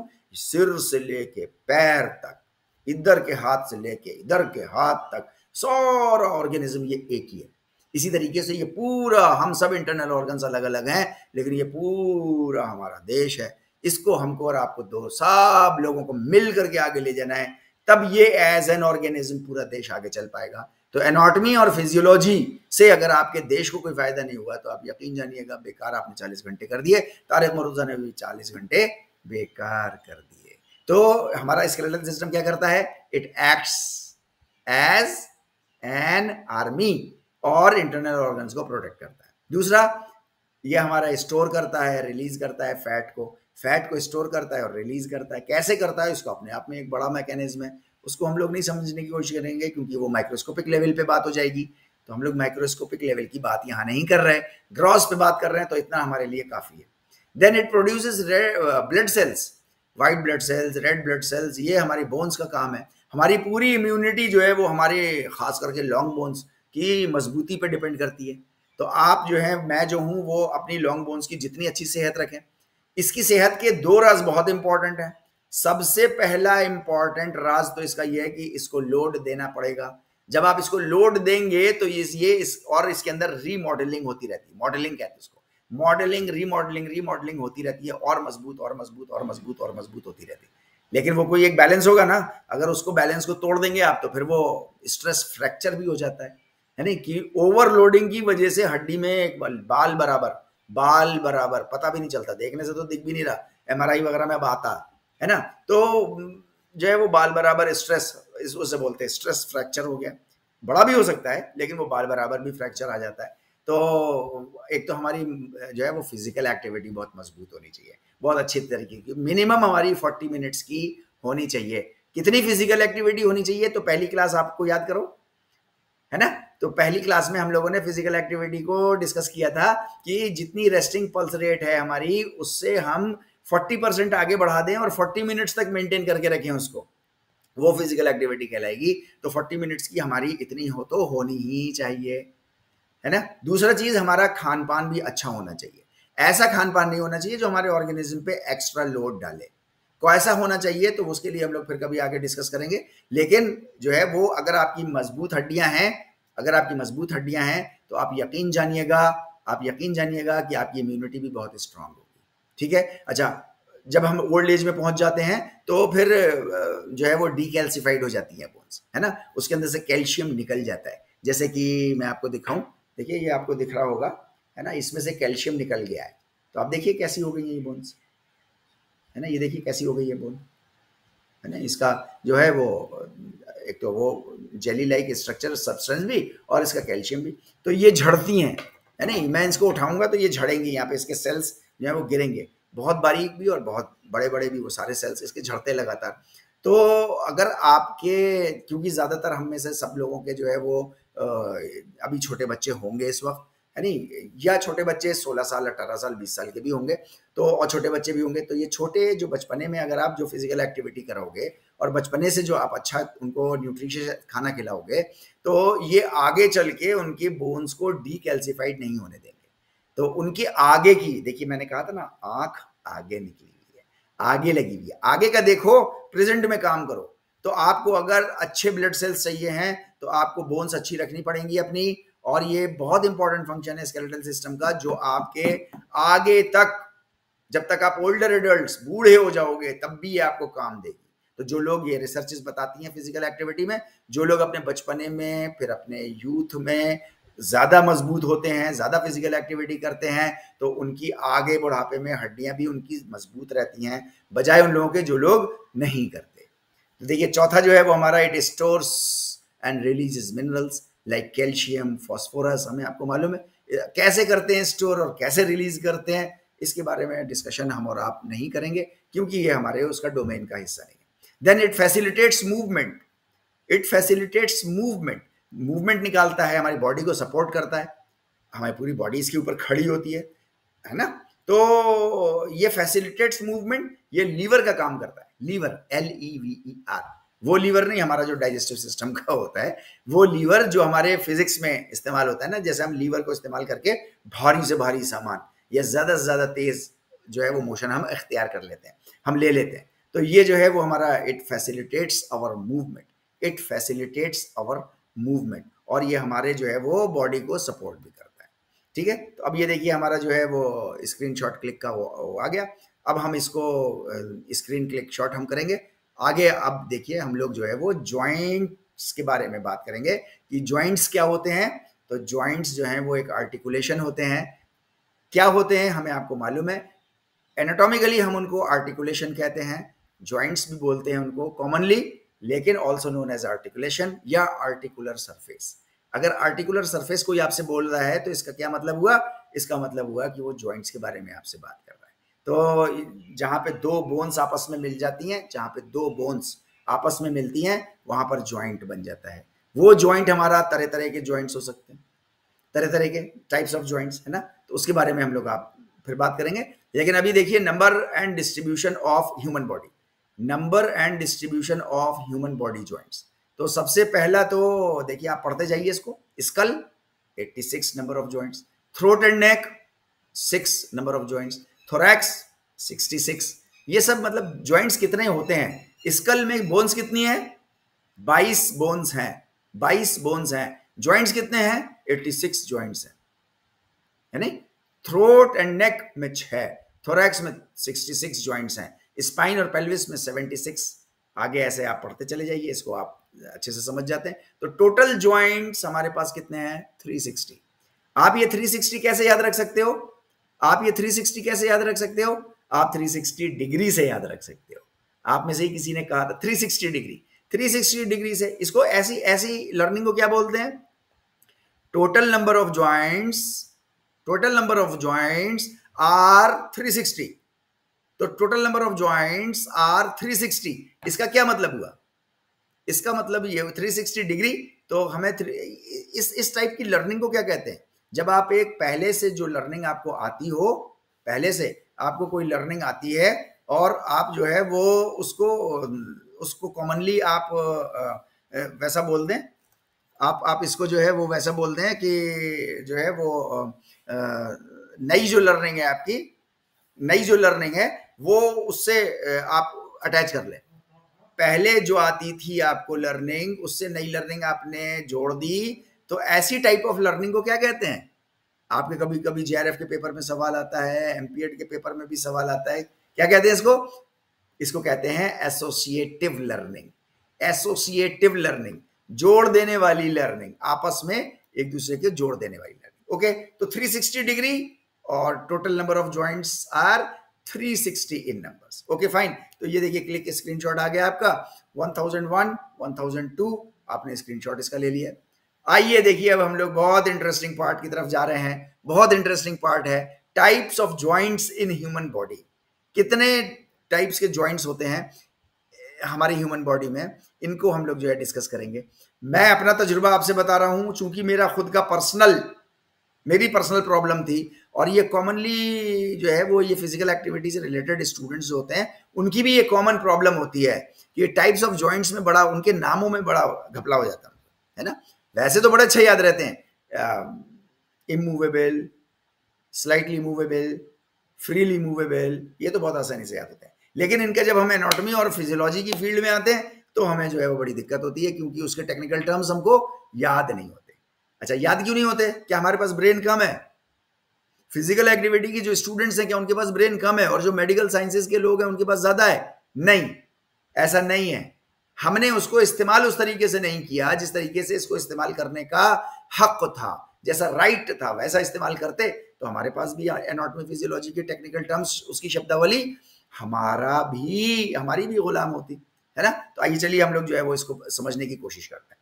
देखिए, ये जो टाइप्स ऑफ़ जॉइंट्स हैं, ये दो तरीके के हमारे पास, है ना? दो तरह से पढ़े जाते हैं स्ट्रक्चरली और फंक्शनली तो आप देखिए, अभी हम लोगों ने स्ट्रक्चरल और फंक्शनल पढ़ा था ना, अगर आप एनाटॉमिकल और फिजियोलॉजिकल फ़ील्ड में आप इसको एनाटॉमी फिजियोलॉजी की फ़ील्ड में बोलेंगे तो स्ट्रक्चर किसको बोलेंगे?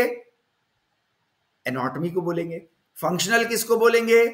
फिजियोलॉजी को बोलेंगे। यानी कि टाइप जॉइंट्स की टाइप्स जो है, वो एनाटॉमिकल टाइप्स भी होती हैं और फिजियोलॉजिकल टाइप्स भी होती हैं। तो अब हम लोग जो है, वो डिस्कस करते हैं कि कितने होते हैं? तो फंक्शनल भी फिजियोलॉजिकल ज्वाइंट्स भी तीन होते हैं। यानी कि फंक्शनल लेवल पे काम करने के अनुसार, काम करने के अनुसार उनका नाम रखा गया और स्ट्रक्चरल वो भी तीन टाइप्स के होते हैं। एनाटॉमिकल ज्वाइंट्स जो हैं, वो भी तीन तरह के होते हैं। आइए हम लोग अब डिस्कस करते हैं तो सबसे पहले स्ट्रक्चर डिस्कस करते हैं, क्योंकि स्ट्रक्चर बहुत इंपॉर्टेंट होता है। अगर स्ट्रक्चर ना हो किसी भी चीज़ का तो उसका फ़ंक्शन होना फिर मायने नहीं रखता। कई जगह ऐसा होता है कि फ़ंक्शंस खत्म हो जाते हैं, मगर स्ट्रक्चर बरकरार रहता है। स्ट्रक्चर स्टैब्लिश रहता है। तो स्ट्रक्चर के अंदर मजबूती होती है। जैसे मिसाल के तौर पे आपने किले देखे होंगे। रेड फोर्ट आपने देखा। आपने जो है वो जयपुर में जाइए, उदयपुर में जाइए तो वहाँ आपको किले दिखाई देंगे। तो किलों का आज स्ट्रक्चर बाकी है। फ़ंक्शन खत्म हो गया। किलों का फ़ंक्शन कुछ और हुआ करता था, महलों का फ़ंक्शन कुछ और महल, है यानी उसका फ़ंक्शन कुछ और होते थे। लेकिन आज किलों का, किले क्या होते थे? वो हमारे प्रोटेक्शन के एरिए होते थे। है ना? वो किले का स्ट्रक्चर बरकरार है। उसके अंदर के फ़ंक्शंस खत्म हो गए। तो स्ट्रक्चर बरकरार रह जाता है और फ़ंक्शन अक्सर जो है वो गायब हो जाता है। तो आइए स्ट्रक्चर के बारे में हम लोग बात करें कौन कौन से तीन है? तो सबसे पहला तो होता है, उसका एनाटॉमिकल नाम है फाइब्रस फाइब्रस फाइब्रस याद रखिएगा, है ना? जिसको हम लोग इमूवेबल बोलते हैं ना? इमूवेबल उसको कहते हैं फाइब्रस फाइब्रस कहाँ होता है हमारे? इमूवेबल जो नहीं हिलता, आपको सबको मालूम है। सूचर्स जितने भी सूचर्स हैं, ऐसे जैसे दो कपड़े आपस में सिल दिए गए, ऐसे मज़बूत। और वो लाइनें पड़ गई, है ना? उसको हम लोग जो है वो सूचर्स बोलते हैं। वो सूचर्स जो है वो इमूवेबल होते हैं। देन दूसरा होता है कार्टिलेजिनस कार्टिलेजिनस मैं हल्के हल्के इसलिए बोल रहा हूँ ताकि आप उसको मेरे पीछे पीछे दोहराइए। आपकी प्रोनाउंसिएशन बहुत अच्छा होना चाहिए। कार्टिलेजिनस कार्टिलेजिनस कार्टिलेजिनस इसको बोलने में, जबान को जिम्नास्टिक देने में थोड़ी सी परेशानी आती है। Cartilage cartilage cartilage, cartilaginous cartilaginous cartilaginous, cartilage cartilage, cartilaginous. याद रखिएगा। यानी कि पार्टली मूवेबल पार्टली मूवेबल हमारा जो ज्वाइंट है। पार्टली मूवेबल कौन कौन से हैं? तो हमारा एक तो वो स्पाइन के हैं। फ्रीली नहीं है और नहीं मूवेबल है। थोड़े थोड़े हिलते भी हैं, ये आगे, पीछे, ऐसे ऐसे साइड से ऐसे भी हो जाते हैं। और हमारी ये रिब केज जो है ये स्टर्नम से। ये भी जो है वो स्लाइटली मूवेबल है पार्टली मूवेबल या स्लाइटली मूवेबल अगर ये फ्री होती तो क्या होता? या हमारी स्पाइन अगर फ्री होती तो क्या होता? तो या तो हमारा दिल टूट जाता। दिल वो टूटना नहीं, वो जो प्यार मोहब्बत में जैसे दिल टूट जाता है। वो दिल टूटना नहीं, बल्कि कैसा दिल टूटना? है ना कि हमारे दिल में घुस गई रेप ऐसा हो गया, ऐसा एक्सीडेंट में हो जाता है बहुत से लोगों के साथ। बड़े अफसोसनाक, बहुत अफसोस के साथ। है नहीं? हादसा हो जाता है, वो एक्सीडेंट हो जाता है। तो वो हो जाता फिर हमारे साथ लंग्स में रप्चर हो जाता लंग्स फट जाते हमारे। तो ये जो है नेचर ने बना के दिया आपको। ये सिर्फ़ स्लाइटली मूवेबल होते हैं।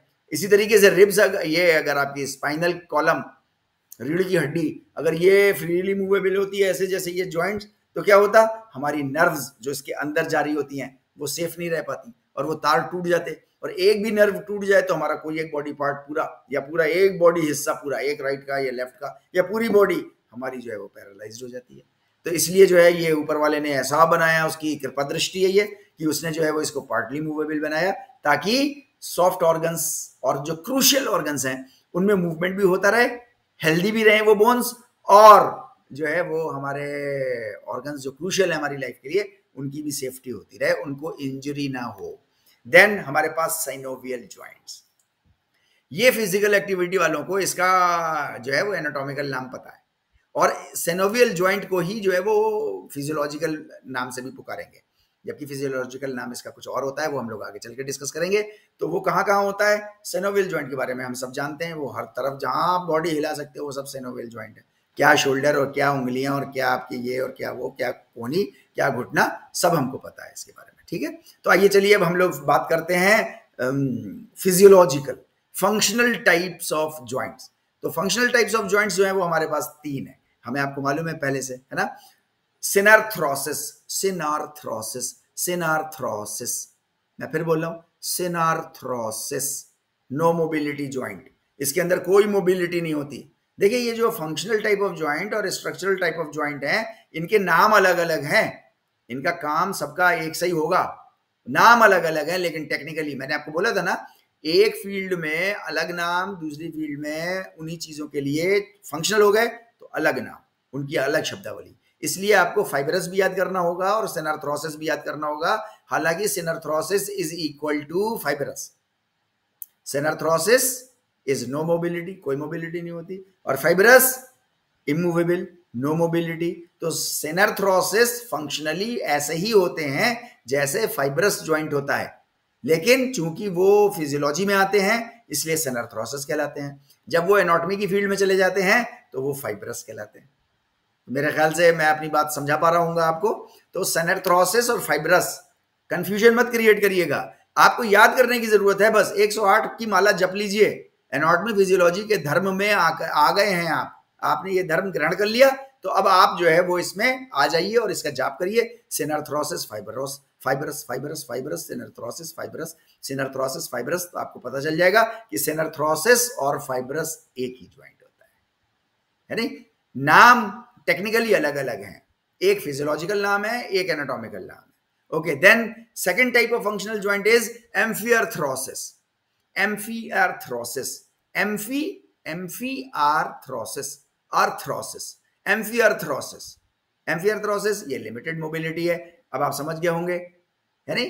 Cartilaginous कार्टि anatomically anatomically it is cartilaginous cartilaginous याद रखिएगा, इसकी प्रैक्टिस करनी है आपको 108 बार कार्टिलेजिनस कार्टिलेजिनस एम्फियार्थ्रोसिस देन हमारे पास जो है वो डायर्थ्रोसिस फ्री मोबिलिटी है ना तो एनाटॉमिकल नाम of diarthrosis is synovial joint technical name of sorry anatomical name of synarthrosis is fibrous the anatomical name structural name of uh, limited mobility joint is cartilaginous. आसानी से याद हो जाएगा। तो हमको कंफ्यूजन नहीं होना चाहिए। आमतौर से फ़िज़िकल एक्टिविटी के जो स्टूडेंट्स होते हैं उनको शुरू में ये याद करने में परेशानी बहुत होती है क्योंकि उन्होंने याद करने के जो उसूल हैं जो सिद्धांत हैं उनको एडॉप्ट नहीं किया होता। क्या सिद्धांत है? दो सिद्धांत बहुत इंपॉर्टेंट है। एक तो रेपिटिशन और दूसरा हेल्पिंग अदर्स इन लर्निंग तो अगर आपने दूसरे को हेल्प किया है तो आपका रेपिटेशन ऑटोमेटिकली हो रहा है और मज़े में भी हो रहा है। सामने वाले को लग रहा है, यार, इसको कितना आता है? जबकि आपको अगर ये तीन आते हैं फंक्शनल आप आप इसको अच्छे से एक्सप्लेन कर दिए। और आपको सच में ये तीन ही आते हो। ये जो टाइप्स ऑफ़ जॉइंट्स है ना एनाटॉमिकल तीन आते हो और फंक्शनल आपको तीन आते हो। इन्हीं टर्म्स के साथ मतलब मैं टेकन फॉर ग्रांटेड एक एग्ज़ाम्पल ले रहा हूँ। सिर्फ़ ये, किसी को यही आते हो। इसके अलावा उसको छठा कोई नाम ना आता हो वो सातवां कोई नाम ना आता हो, सिर्फ़ ये छह नाम आते हो। आप यकीन जानिएगा, वो कसम खा खा के मर जाएगा और कहता रहेगा कि भैया इसके अलावा मुझे कुछ नहीं आता, सामने वाला आप मानने को तैयार नहीं होगे। क्यों? क्योंकि वो synarthrosis amphiarthrosis diarthrosis synovial cartilaginous fibrous इतने एक्सपर्टीज के साथ बोल रहा था, इतने एक्सपर्टीज के साथ बोल रहा था कि आप मान नहीं सकते उसकी कस्मों को, है ना? तो आपकी जो है वो पर्सनैलिटी निखर गई। आपका कैरियर डेवलप होने में जो है वो आपको मदद मिलेगी और आपके जूनियर्स आपकी रेस्पेक्ट करेंगे, आपको सलाम ठोकेंगे। इंसान को चाहिए क्या? अच्छे नाम से इंसान याद करे और उसको वो इज़्ज़त दे जो उसकी इज़्ज़त है। लेकिन इज़्ज़त काम से होती है। मैंने आपसे पहले भी कहा था कि दुनिया में बाई बर्थ बाई बर्थ किसी की कोई इज़्ज़त नहीं। हाँ हर इंसान की, इंसान होने के नाते सबकी इज़्ज़त बराबर है। इंसान होने के नाते, चाहे वो इंडिया में पैदा हुआ, चाहे चाइना में हुआ, चाहे अमेरिका में हुआ, चाहे बीहड़ जंगलों में पैदा हुआ, सारे इंसान इंसान होने के नाते सबकी इज़्ज़त बराबर है। है ना? कुरान इसको कहता है, वलकद करमना बनी आदम। हमने आदम की औलाद को इज़्ज़त दी है। तो जिसको ऊपर वाला इज़्ज़त दे दे, जिसको श्री सरस्वती इज़्ज़त दे दे, जिसको अल्लाह सुबहान तला इज़्ज़त दे दे तो उसकी कौन बेइज्जती करेगा? नहीं, अब ये सबकी इज़्ज़त तो बराबर हो गई। अब इनमें ज़्यादा इज़्ज़त वाले कौन? तो मैंने पहले भी आपसे डिस्कस किया था कि ज़्यादा इज़्ज़त वाले वो लोग होंगे। ज़्यादा इज़्ज़त वाले सिर्फ़ और सिर्फ़ वो लोग होंगे जिनके कर्म अच्छे होंगे। जो जितने अच्छे कर्म करेगा, समाज अच्छे कर्म मतलब तमाम इंसानियत को जो लोग ग्रो करने में डेवलप करने में, जो लोग जितना ज़्यादा समाज में कंट्रीब्यूट करेंगे, उनकी उतनी ज़्यादा इज़्ज़त होगी। मैं अपने लेवल पे जैसा भी कंट्रीब्यूट कर पा रहा हूँ टूटे फूटे अंदाज में मैं कर रहा हूँ। तो आपके दिलों में मेरे लिए क्या इज़्ज़त है? क्या स्टेटस है? वो आप जानते होंगे बहुत अच्छे से। तो ये पूरी इंसानियत का मतलब कोई बाई बर्थ, कोई किसी की एक्स्ट्रा इज़्ज़त नहीं हो सकती, सब बराबर है। पॉलिटिशियन है पावरफुल पॉलिटिशियन है पावरफुल पैसे वाले हैं, बहुत ज़्यादा पैसे वाले हैं। इतने पैसे वाले हैं कि आपको पता ही नहीं आपके पास कितने पैसे हैं, लेकिन उसके नाते और किसी गरीब, दोनों की इज़्ज़त बराबर दोनों के राइट्स बराबर के कौन ज़्यादा हो जाएगा इज़्ज़त में? वो ज़्यादा हो जाएगा जो अच्छे कामों को समाज में करेगा। अच्छे काम क्या? अच्छे काम वो जो अब आप तमाम ह्यूमंस को डेवलप करने की कोशिश करेंगे तो आपके काम अच्छे कहलाएँगे। अगर आप ह्यूमंस को रोक देंगे ह्यूमंस के ग्रोथ एंड डेवलपमेंट को रोक देंगे तो आप अच्छे नहीं कहलाएँगे। न्यूट्रल रहना भी इंसानों की वो नहीं है। ना, क्या जैसा चल रहा है, चलने दो। ना जी ना। आपको तो अच्छा कंट्रीब्यूशन देना ही पड़ेगा तब आप अच्छे कहलाएँगे। वरना अगर ऐसे ही चलाएँगे तो, तो कहते हैं ये तो मौका परस्त है। ये तो मतलब बुरे अल्फाज भी होते हैं तो इसलिए मेरा कहने का आपका तात्पर्य बस इतना सा है कि अगर आप इन फंक्शनल और स्ट्रक्चरल नामों को याद कर लेंगे तो आपकी इज़्ज़त बढ़ जाएगी क्योंकि आपने कुछ काम किया है कर्म आपने किए हैं और अब आप दूसरों को शेयर कर रहे हैं। तो आपके पास अगर एक चीज़ भी है ना एक चीज़ एक चीज़ की ज्ञान है, एक चीज़ का इल्म है तो आप वो दूसरे को दे दीजिए, आपके लिए दस रास्ते और खुलेंगे। ठीक है, ये सीक्रेट है। अच्छा देखिए, अब ये एग वाइट एक एक्सपेरिमेंट है। To know about the synovial fluid हमारे जो प्रोफेसर मेहदी हसन सर थे ना, उन्होंने ये एक्सपेरिमेंट हमको कराया। और वैसे तो आप सेनोवेल फ्लूड के बारे में समझ नहीं सकते। क्यों नहीं समझ सकते? क्योंकि वो लाइव बॉडी में ही होता है, दो चार घंटे में वो सूख जाता है, खत्म हो जाता है सेनोवेल फ्लूड डेड बॉडी से। तो कैडेवर एकदम से तो मिलता नहीं है। उसके भी अपने कुछ राइट्स होते हैं, उसके भी अपने कुछ प्रिंसिपल्स हैं, आप तब कैडेवर को इस्तेमाल कर सकते हैं, तब तक वो सिनोवियल फ्लूड उसमें से सूख जाता है। ऐसा नहीं है कि किसी की डेड हुई और आपने फ़ौरन इसको निकाला और आपने देखना कोशिश कर नहीं। तो इसके लिए हमको जो है वो सर ने प्रोफेसर मेहदी हसन सर ने, जिनको मैं हर वक्त सल्यूट करता हूँ, सलाम करता हूँ, है ना? उनकी वजह से मैं आपसे इतना बहुत कुछ शेयर भी कर पा रहा हूँ आज। तो उन्होंने हमको ये एक एग वाइट एक्सपेरिमेंट करवाया था। उसमें उन्होंने हमसे दो अंडे मंगवाए, प्याला मंगवाया, चम्मच मंगवाया सबसे घर से। है ना? और सब अपने बड़ा सा जग लेकर के आए। सबकी जर्दियाँ निकलवा दी। अब उसमें जो है प्याले में हम सब के प्यालों में दो दो वाइट्स बचे, अंडे के। और जर्दियाँ उन्होंने उसमें जग में रख ली। तो जर्दी तो एक तरफ़ उन्होंने रख दी और उसके बाद जो है वो उन्होंने वाइट कहा, सबसे सारे स्टूडेंट से, आप लोग सब आँखें बंद कर लीजिए तो हमने सबने आँखें बंद कर ली। बोले, अब आप इसमें अपने, इसमें हाथ डालिए और इसको फील करने की कोशिश कीजिए। इसका देखिए इसके स्लिपरीनेस इसकी चिकनाहट कैसी है? आप इसको देखिए इसका वेट कितना है। आप इसको देखिए इसका टेक्सचर कैसा है। आप इसको देखिए इसकी विस्कोसिटी कितनी है। वो सारी चीज़ें फील करिए। आँखें बंद रखिएगा, देखिएगा नहीं, और सिर्फ़ आँखों से उसको फील करिए। अपने हाथों की स्किन रिसेप्टर्स आपके जो हैं स्किन रिसेप्टर्स आप उनसे फील करिए। कैसा लगता है आपको? जस, जैसा आपको लगा, ऐसे ही सिनोवियल फ्लूड है। हमारा। बोले, बस खत्म चैप्टर अब क्या सिनोवियल फ्लूड तो सिनोवियल फ्लूड जो है, वो उन्होंने किताबों में बोले कि मैं आपको दस लेक्चर देता, आपको समझ में नहीं आता। अब आपको एक बार में समझ में आ गया। अब बस इसका केमिकल कंपोजिशन और समझ लीजिए। इसका केमिकल कंपोजिशन भी वही कंपोजिशन है जो एग वाइट का कंपोजिशन है। तो आइए चलिए। अब हम लोग, उन्होंने बोला, अब आइए चलिए, हम लोग जो है chemical composition of synovial fluid समझ लेते हैं। वो हम लोगों ने समझ लिया, बाकी सब समझ में आ गया प्रैक्टिकली तो प्रैक्टिकल करने में होता यही है। प्रैक्टिकल करने में होता यही है है नहीं? कर्म करने में, इसीलिए पूरी दुनिया कर्मों की बनी हुई है। काम करोगे तो इज़्ज़त मिलेगी। अच्छा अब बुरे काम भी हो सकते हैं, अच्छे काम भी हो सकते हैं। तो ये एग वाइट एक्सपेरिमेंट जो है वो उन लोगों ने कराया था। मैं चाह रहा था आप लोगों से करना, लेकिन ज़ाहिर सी बात है उस, इतना टाइम हम लोगों के पास नहीं है। तो आप इसको अपने घर पे कर सकते प्लीज़ जो लोग कर सकते हो, जिनके घरों में अंडे आते हों, जिनके घरों में मुर्गी के अंडे आते हों प्लीज़ वो लोग इस एक्सपेरिमेंट को ज़रूर करें। आँख बंद करके करें, इसको वो करें। देखिए, मैंने आपसे कहा है एनाटॉमी आपके दिमाग में, आपके वजूद में, आपके एग्जिस्टेंस में जगह बनाएगी तब जब आप अपनी पीछे की लाइफ में कुछ ऑल्ट्रेशन करेंगे, कुछ बदलाव करेंगे। अगर आप बदलाव नहीं करेंगे, अगर आप ऑल्ट्रेशन कुछ नहीं करेंगे तो आप यकीन जानिए एनाटॉमी अपने पास, आपके पास मतलब टुकड़ों में आएगी। और टुकड़ों में तो है ही आपके पास, पता ही आपको ये स्कल होता है, ये फेस होता है। ये हमारी जो है मैंडेबल होती है तो पता ही है। ये हमारा जो है वो क्लेविकल होती है, ये स्टर्नम ये रिपकेज ये सबको तो पता ही है आपको। फिर क्या है? यहाँ हम एक्स्ट्रा क्या लेने बैठे हैं? एक्स्ट्रा जो लेने बैठे हैं, उसके लिए आपको अपनी लाइफ स्टाइल में चेंज करना पड़ेगा। और लाइफ स्टाइल में चेंज करने के बाद फिर आप समझ सकते हैं चीज़ों को कि एनोटमी ने कितनी जगह आपकी बना ली।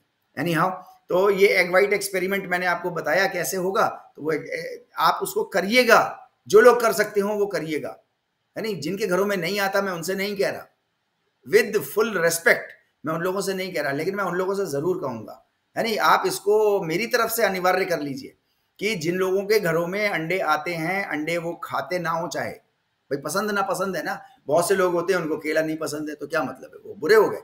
नहीं, बहुत से लोग हैं जिनको जो है वो चिकन नहीं पसंद है। बहुत से लोग हैं, उनको जो है वो, क्या कहते हैं गोभी नहीं पसंद है। तो इसका क्या मतलब हो वो बुरे हो गए, वो अच्छे हो गए जो खाते हैं। नहीं, ऐसा नहीं है। अपनी अपनी पसंद है अपनी अपनी फ़ूड इंटेक है अपना अपना कल्चर है। हालाँकि फ़ूड जो होता है, वो कोई कल्चर नहीं है। कल्चर का एक हिस्सा है कल्चर नहीं है। फ़ूड असल में आपकी बॉडी का फ्यूल है। फ़ूड जो होता है, वो आपकी बॉडी का फ्यूल है। आप कैसा अपना फ्यूल आपको देते हैं, आपका एग्जिस्टेंस वैसा बनता है। इसके ऊपर हम लोग जो है, वो अगली क्लास में डिस्कस अच्छे से डिटेल में थोड़ा सा करेंगे। लेक्चर के शुरू में और फिर उसके बाद हम लोग आगे बढ़ेंगे। ओके फाइन तो ये क्लिक स्क्रीनशॉट हमारे सामने आ गया। आप लोग इसको खींच लीजिए। One thousand one thousand two अब आप आइए साइनोवियल ज्वाइंट्स के टाइप्स कितने हैं, है ना? तो हम लोगों के कई तरह के ज्वाइंट्स होते हैं, देखिए। तो एक तो इसको डायरथ्रोसिस कहते हैं। मैंने ब्रैकेट में डायरथ्रोसिस लिख दिया है, ताकि ये डायरथ्रोसिस आप अच्छे से बार बार देख लें। देख लेंगे, सुन लेंगे डायरथ्रोसिस डायरथ्रोसिस डायरथ्रोसिस सुन लेंगे, देख लेंगे, और फिर 80 परसेंट आप रिवाइज करेंगे आपका 100 परसेंट डायरथ्रोसिस आपके कब्जे में आ जाएगा। डायरथ्रोसिस क्या नाम है? फिजियोलॉजिकल टेक्निकल नेम है या एनाटॉमिकल टेक्निकल नेम है? तो आप सब आंसर दे रहे हैं। क्या आंसर दे रहे हैं? कि फिजियोलॉजिकल है। तो ये फिजियो और सेनोवियल क्या है? सेनोवियल जो है वो टेक्निकल नाम है एनाटॉमिकल एनाटॉमी का नाम है। और डायरथ्रोसिस फिजियोलॉजी का नाम है। तो सबसे पहला ज्वाइंट बहुत सारे तरह तरह के ज्वाइंट होते हैं। प्लानर ज्वाइंट है। प्लानर ज्वाइंट जो है वो आपस में ये एक दूसरे के ऊपर हड्डियाँ इसकी जो है वो ऐसे ऐसे करके बस हल्के हल्के वो मूव करती है। ये जो हिस्सा है हमारा जो आपको स्क्रीन पे दिखाई दे रहा है, जिनको हम कार्पल्स बोलते हैं, है ना? तो ये एक कार्पल है, एक कार्पल आपको दिख रही है, एक और कार्पल दिख रही है, एक और कार्पल दिख रही है, ऐसी बहुत सारी कार्पल्स हैं यहाँ पे। ये कार्पल दो कार्पल्स मिलके आपस में ज्वाइंट बना रही है। ये ज्वाइंट जो है वो हमारा प्लानर या ग्लाइडिंग ज्वाइंट कहते हैं। ग्लाइडिंग ज्वाइंट के नाम से हम लोग आमतौर से फ़िज़िकल एक्टिविटी के प्रोफेशनल्स हम लोग ग्लाइडिंग ज्वाइंट के नाम से जानते हैं। इसका टेक्निकल नाम जो है वो प्लानर वो होता है और इसमें लिमिटेड रेंज ऑफ़ मोशन होता है ग्लाइडिंग मोशन एक दूसरे के ऊपर ग्लाइड करते हैं बस ऐसे। और कार्पल बोन्स में होता है और हमारे टखने के नीचे, टखने के नीचे। अच्छा टखने में एक हमने जो है वो एक लिगामेंट हाँ डेल्टोइड लिगामेंट जो एक मसल के नाम पे है। डेल्टोइड मसल शोल्डर मसल के नाम पर जो है वो एक डेल्टोइड लिगामेंट भी है, वो हम लोगों ने जो है वो पीछे क्लास में हम लोगों ने समझने की कोशिश की थी। तो वो जो हमारा उंगलियों से पहले पहले का जो हिस्सा पैर का होता है, टखने के नीचे का, वहाँ पर होती हैं और हमारे पास कार्पल बोन ये हमारा जो हिस्सा है, यहाँ पर हमारा जो है वो, ये बोन्स होती हैं। इनके बीच में दो बोन्स के बीच में जो ज्वाइंट बनता है, उसको हम लोग जो है वो प्लानर ज्वाइंट के नाम से कहते हैं। ठीक है? तो अब हम लोग आगे बढ़ते हैं। ये हिंज ज्वाइंट बहुत कॉमन है, बहुत कॉमन है, बहुत कॉमन है। हम फ़िज़िकल एक्टिविटी के सारे प्रोफेशनल्स हिंज ज्वाइंट को जानते हैं। एल्बो में होता है। है नहीं? Elbow is the very prominent example of the hinge joint हमारा नी ज्वाइंट ये हिंज ज्वाइंट है। हिंज ज्वाइंट वो ज्वाइंट होता है जो एक प्लेन पे काम करता है, ऐसा ऐसा। अगर ये मेरा रिस्ट ऐसे ऐसे काम करता तो ये क्या हो जाता? हिंज हो जाता ना ये? अगर ये ऐसे ऐसे काम करता सिर्फ़ तो ये हिंज ज्वाइंट हो जाता ना? हाँ ये हिंज ज्वाइंट हो जाता। लेकिन क्या ये हिंज ज्वाइंट है? नहीं, ये हिंज ज्वाइंट नहीं है। ये तो बहुत सारे काम करता है। ये ऐसे ऐसे भी करता है, ये ऐसे ऐसे भी करता है, ये ऊपर नीचे ऐसे भी करता है, हर तरह से काम करता है ये तो है ना? तो आपका हिंज ज्वाइंट एक पर्टिकुलर एक्सिस पे काम करता है और एक ही एंगल पे जाता है, आएगा। जाना, आना जाना, आना। अच्छा हमारा लैपटॉप जो है, मैं लैपटॉप पे बैठा हूँ। आप में से जो लोग लैपटॉप पे बैठे हो लैपटॉप इज़ फ्लैप उसका। जो है, ये भी हिंज ज्वाइंट होता है है ना? आपने इसको ऐसे खोला, ऐसा बंद किया, जैसे दरवाजे या खिड़की की तरह, वो भी। लेकिन अभी आपको पता है, एक स्क्रीन जो है, वो लैपटॉप्स की योगा स्क्रीन के नाम से भी लैपटॉप्स आ रहे हैं। योगा स्क्रीन योगा स्क्रीन कौन से स्क्रीन हैं? योगा स्क्रीन वो स्क्रीन हैं जो 360 घूम जाते हैं, ऐसे मुड़ जाते हैं। पूरे फ्लैप हो जाते हैं, अलग हो जाते हैं। योगा को बिल्कुल बदनाम कर दिया हमने। हमने योगा को बस यही समझा कि जो जितना ज़्यादा स्ट्रेचिंग कर ले, जो जितनी अच्छी, वो करेगा, क्या कहते हैं स्ट्रेचिंग कर लेगा, ज़्यादा अच्छे तरीके से आसन कर लेगा, जो ज़्यादा अच्छे तरीके से जो है वो प्राणायाम कर लेगा भस्त्रिका कर लेगा, अनुलोम विलोम कर लेगा, वो उतना अच्छा बड़ा योगी है। और नहीं साहब है ना ये मिसनोमर है मायापिक विजन है योग के लिए। हम लोग कभी योग के बारे में बात करेंगे तो योग ये नहीं है जिसको हम लोग समझते हैं कि ये योग है। कि आसन कर लिया, प्राणायाम कर लिया। योग नाम आया तो आसन, प्राणायाम, बस। आसन तो वो योग। नहीं, ऐसा नहीं है। योग एक प्रोसेस है पूरी ज़िंदगी गुजारने का और एक एक्सेलेंट वे है। एक एक्सेलेंट वे है। और श्री कृष्ण जी ने तो भगवत गीता में योग के लिए क्या कहा? तस्मात् सर्वेशु कालेषु योग युक्तो भव। क्या कहा? तस्मात् सर्वेषु कालेषु योग युक्तो भव। मतलब हमेशा हमेशा हमेशा हमेशा तुम योग में रहना। अब बताओ आप, अगर मैं आसन को समझूं या प्राणायाम को समझूं भस्त्रिका को समझूं, अनुलोम विलोम को समझूं तो तो मर गए फिर तो हम। श्री कृष्ण की बात कैसे पूरी होगी? तो श्री कृष्ण जी समझते थे योग क्या है असल में। ये हमारी बुद्धि भ्रष्ट हो गई है कलयुग में, जो हम नहीं समझ पा रहे कि योग असल क्या है। चलिए आगे कभी हम लोग और बात करेंगे इसके ऊपर। तो ये देखिए, हमारा हिंज ज्वाइंट पूरा हो गया और ये क्लिक स्क्रीनशॉट आ गया। 1001 1002 पाइवट ज्वाइंट पाइवट ज्वाइंट जो है, वो ज्वाइंट होता है जो एक दूसरे के ऊपर बस ऐसा ऐसा। इसे कहते हैं पाइवट पाइवट ज्वाइंट है ना? तो ये जो है, वो सी वन और C two vertebra C cervical T T T for thorax T for Tarak है ना? टी थोरेक्स एल ये वर्टिब्रा जो है वो अपनी अपनी पोजीशन के हिसाब से इनको ऐसे पर नाम दिए गए ठीक है? तो जैसे सर्वाइकल जो है वो सात होती हैं तो C one C two C three C four C five C six C seven ऐसा करके। तो cervical one cervical two cervical ऐसे ही फिर उसके बाद जो है थोरेक्स थोरेसिक होती हैं तो वो T one T two T three T four T five T six T seven T eight T nine ऐसा करके। फिर उसके बाद L one L two L three L four फिर उसका तो ये अपने अपने तो ये सी वन और सी टू में ये पाइवट ज्वाइंट पाया जाता है, जो आपने देख रहे हैं एरो वो ऐसे ऐसे करके घूमता है अपनी तरफ़ से, ठीक है नहीं?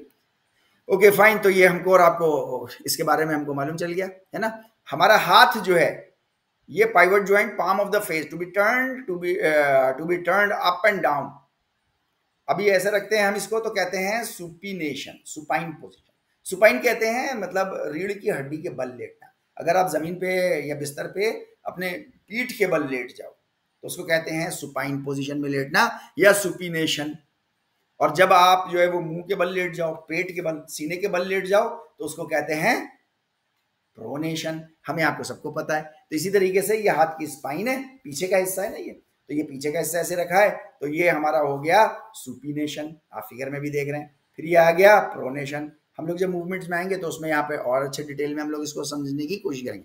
तो ये जो है वो पाइवट ज्वाइंट है। पाइवटल, हमारे रेडियस और अल्लाह, ये जो है वो पाइवटल बोन्स हैं। पाइवट बोन्स कौन सी हैं?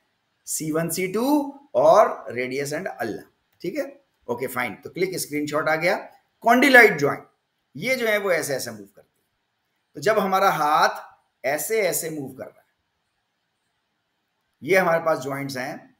इनको एलिप्सवाइडल एलिप्सवाइडल ज्वाइंट भी कहते हैं।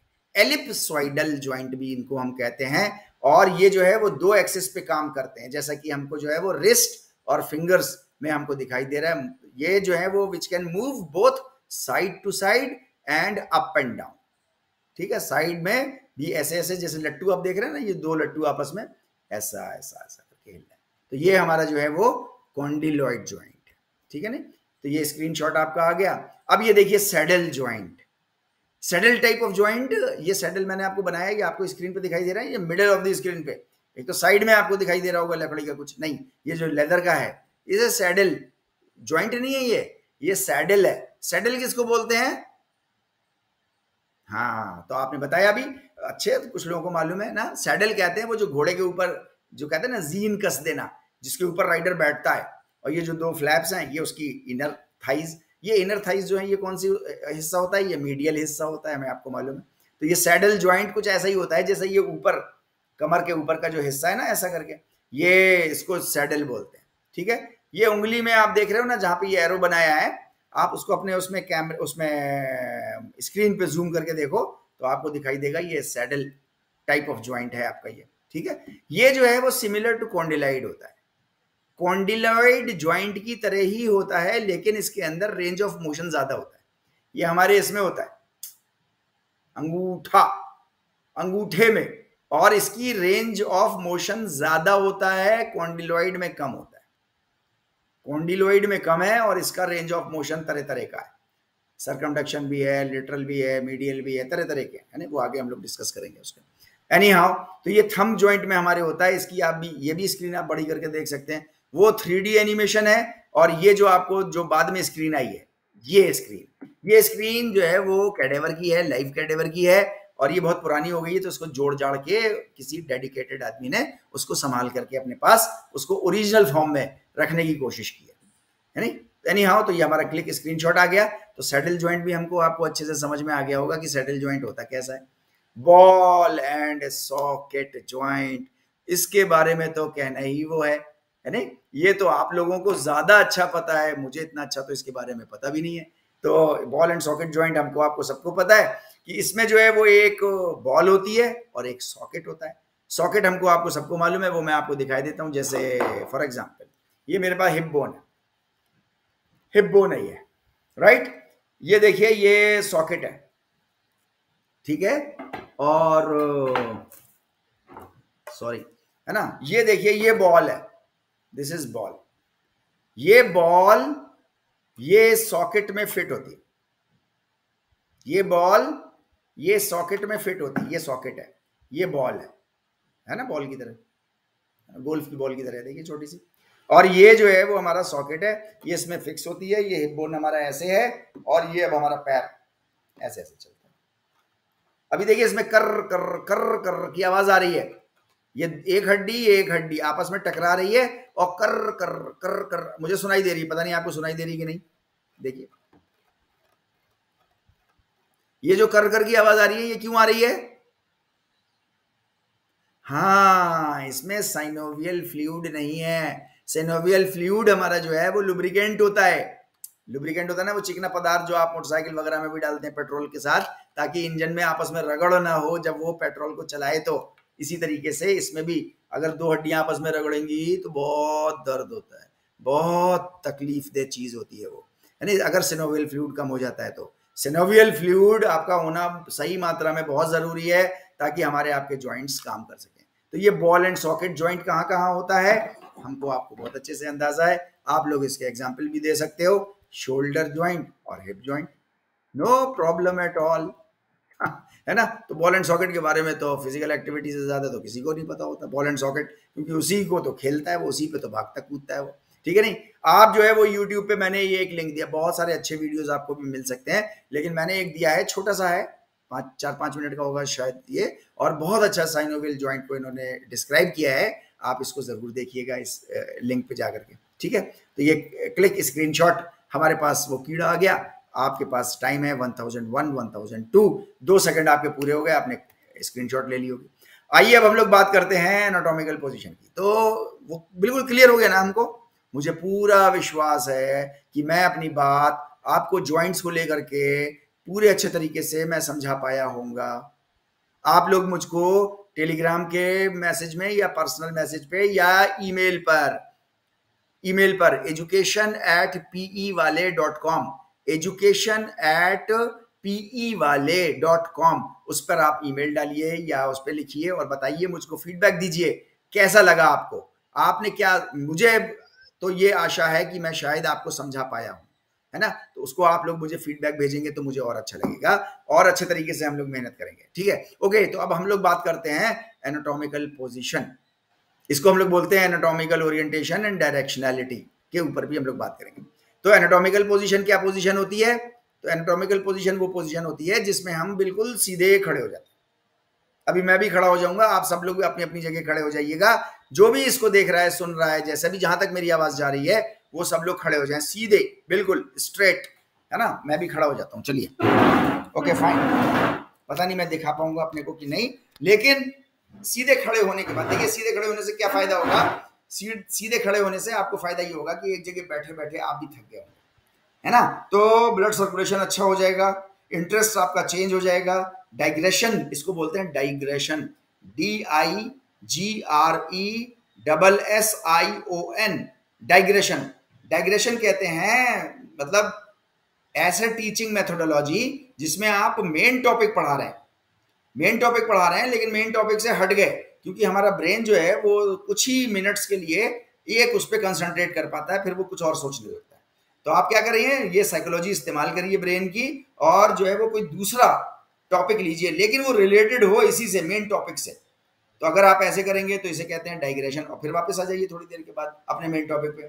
लेकिन अगर आप बिल्कुल अपना टॉपिक तो है आपका ज्वाइंट्स और पहुँच गए आप मसल्स पर, और तो ये हो गया डेविएशन इसे कहते हैं deviation D E V I A T I O N तो आइए हम लोगों का ये डाइग्रेशन भी हो जाएगा। तो आप लोग थोड़ा सा फिजिकली सब लोग अपनी अपनी जगह जहाँ तक मेरी आवाज़ जा रही है, वहाँ पे आप सब लोग खड़े हो जाइए। मैं भी खड़ा हो गया। ओके। शोल्डर आपका जो लेवल है, ये शोल्डर लेवल है ना आपका ऐसा? ये शोल्डर लेवल जिसका चौड़ा होता है, जैसे शोल्डर के नीचे अपने दोनों पैरों को ऐसा रखेंगे। पैर ऐसे नहीं रखेंगे, पैर ऐसे नहीं रखेंगे, पैर बिल्कुल स्ट्रेट रखेंगे। और उतना फैलाएँगे जितने आपके शोल्डर लेवल है। शोल्डर लेवल पर हाथों को ऐसे रखेंगे, घुटने सीधे, बिल्कुल स्ट्रेट घुटना ऐसे नहीं, मोड़ के नहीं रखेंगे, घुटना सीधा। है ना? सीधे घुटने के साथ रहेंगे, जैसे ये फिगर में आपको दिख रहा है। हाथ जो है वो साइड में। ये पाम जो है ना, ये सामने, आपके लैपटॉप पे, आपके स्क्रीन पर, सामने, ऐसे। जैसे मैं अगर आपके सामने खड़ा होता तो हम दोनों एक दूसरे के फेसिंग टू ईच अदर ऐसे करके। हम ये साइड में हमारे हाथ हो जाएँगे। देखिए, हमारे हाथ अगर ऐसे मुड़ जाते हैं तो ऐसे अंदर हो जाते हैं। स्पेस हमारा कम हो जाता है। और नहीं तो अगर हम हाथ ऐसे करते हैं तो हाथों का स्पेस हमारा ये बढ़ जाता है। ठीक है? तो हमको जो है वो इस हाथ बाहर, अंगूठा हमारा बाहर की तरफ़ होना चाहिए दोनों। पैरों के अंगूठे अंदर और हाथों का अंगूठे हमारे बाहर। उंगलियाँ हमारी नेचुरल लटकी होंगी। ऐसा नहीं बंद और टाइट भी नहीं, बिल्कुल नेचुरल जैसे ऐसे होते तो ऐसे रहिए।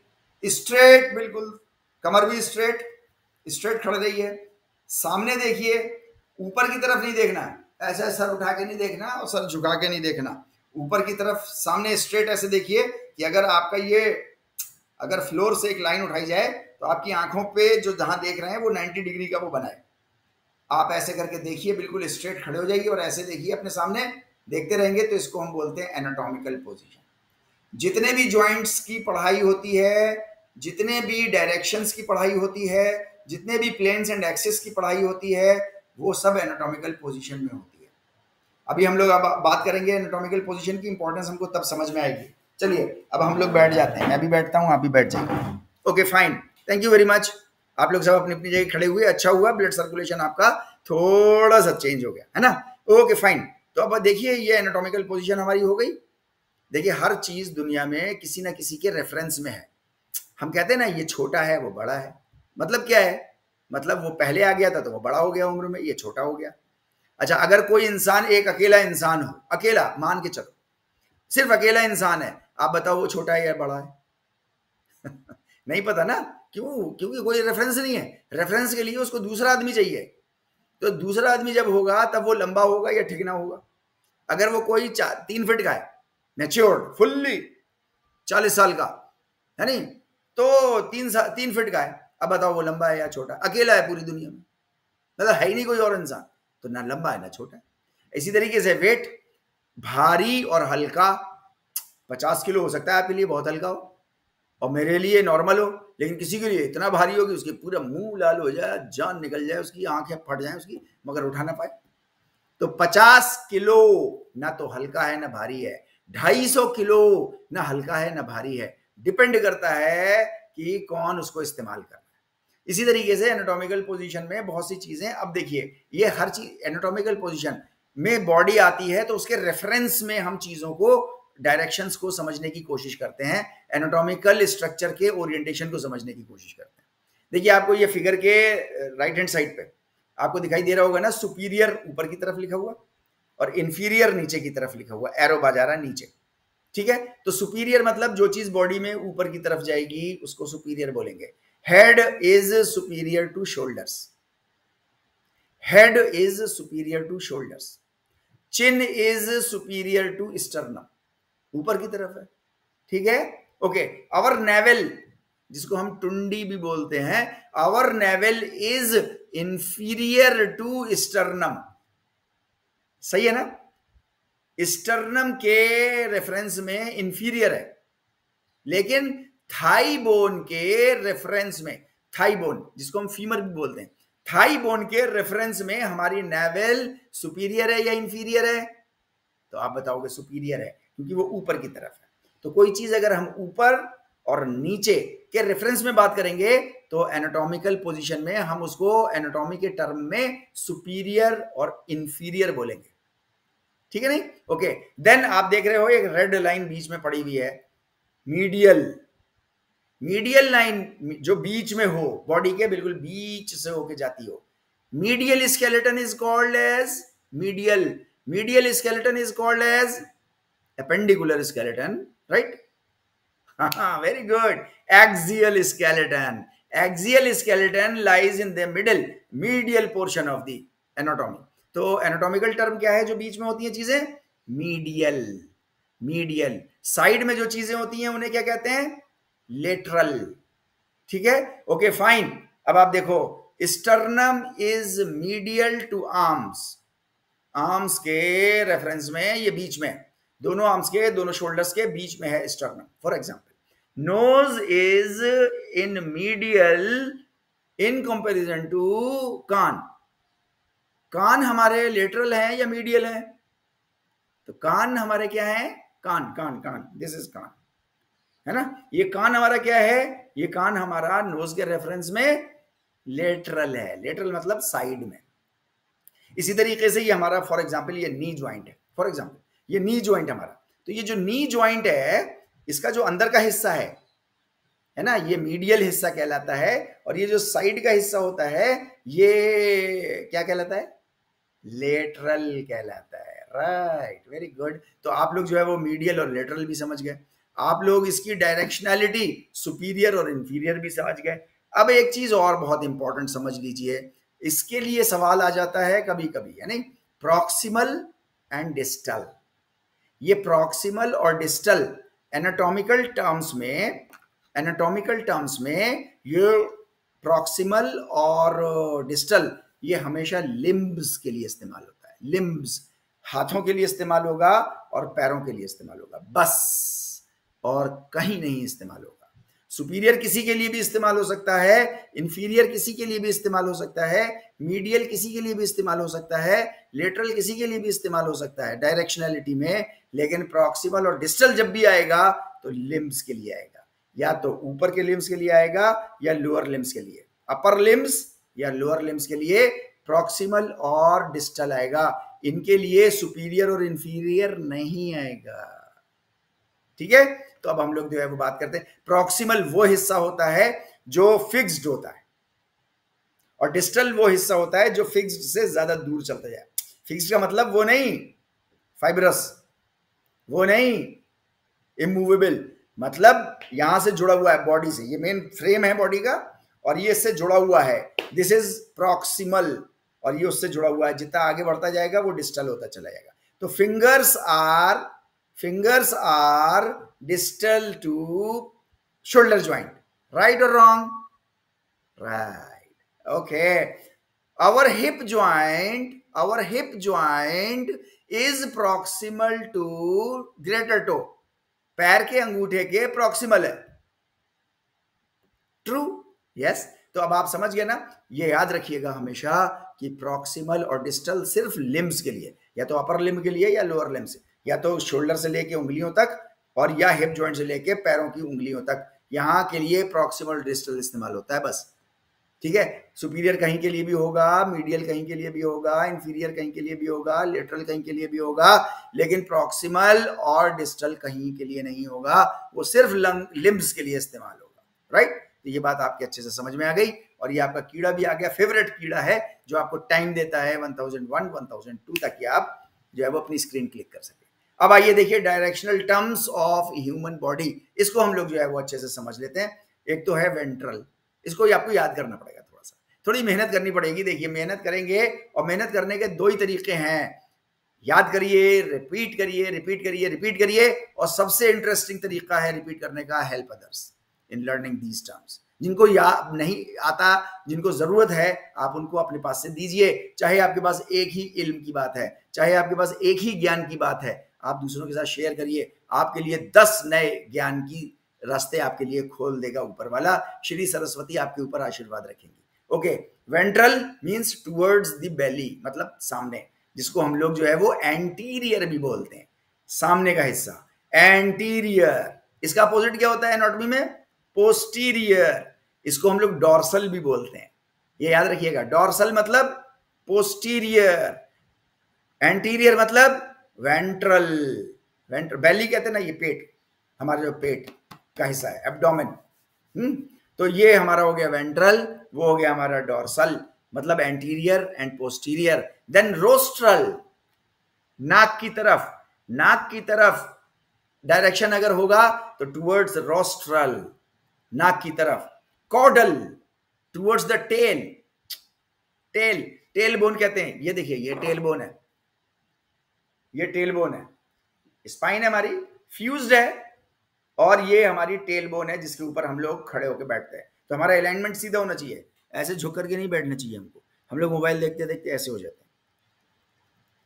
नहीं, ऐसे नहीं। स्ट्रेट बैठिए। स्ट्रेट देखिए ऐसे करके। सामने स्क्रीन रखिए अपनी आँखों के, और उसको देखिए। टेल बोन पे रहिए ये टेल है। तो टेल हमेशा जब भी टेल की तरफ़ होगा इंफीरियर नहीं? और बाकी जो है वो आपका superior towards the head lateral away from the middle medial towards the middle bilateral दोनों तरफ़, दोनों साइड में। लेटरल मतलब साइड में और बाई मतलब दो तो दोनों साइड में। इप्सी लेटरल मतलब एक तरफ़ से, एक साइड में, है ना? कंट्रालेटरल मतलब अपोजिट इन टर्म्स के बारे में हम लोग आगे चल के डिस्कस करेंगे।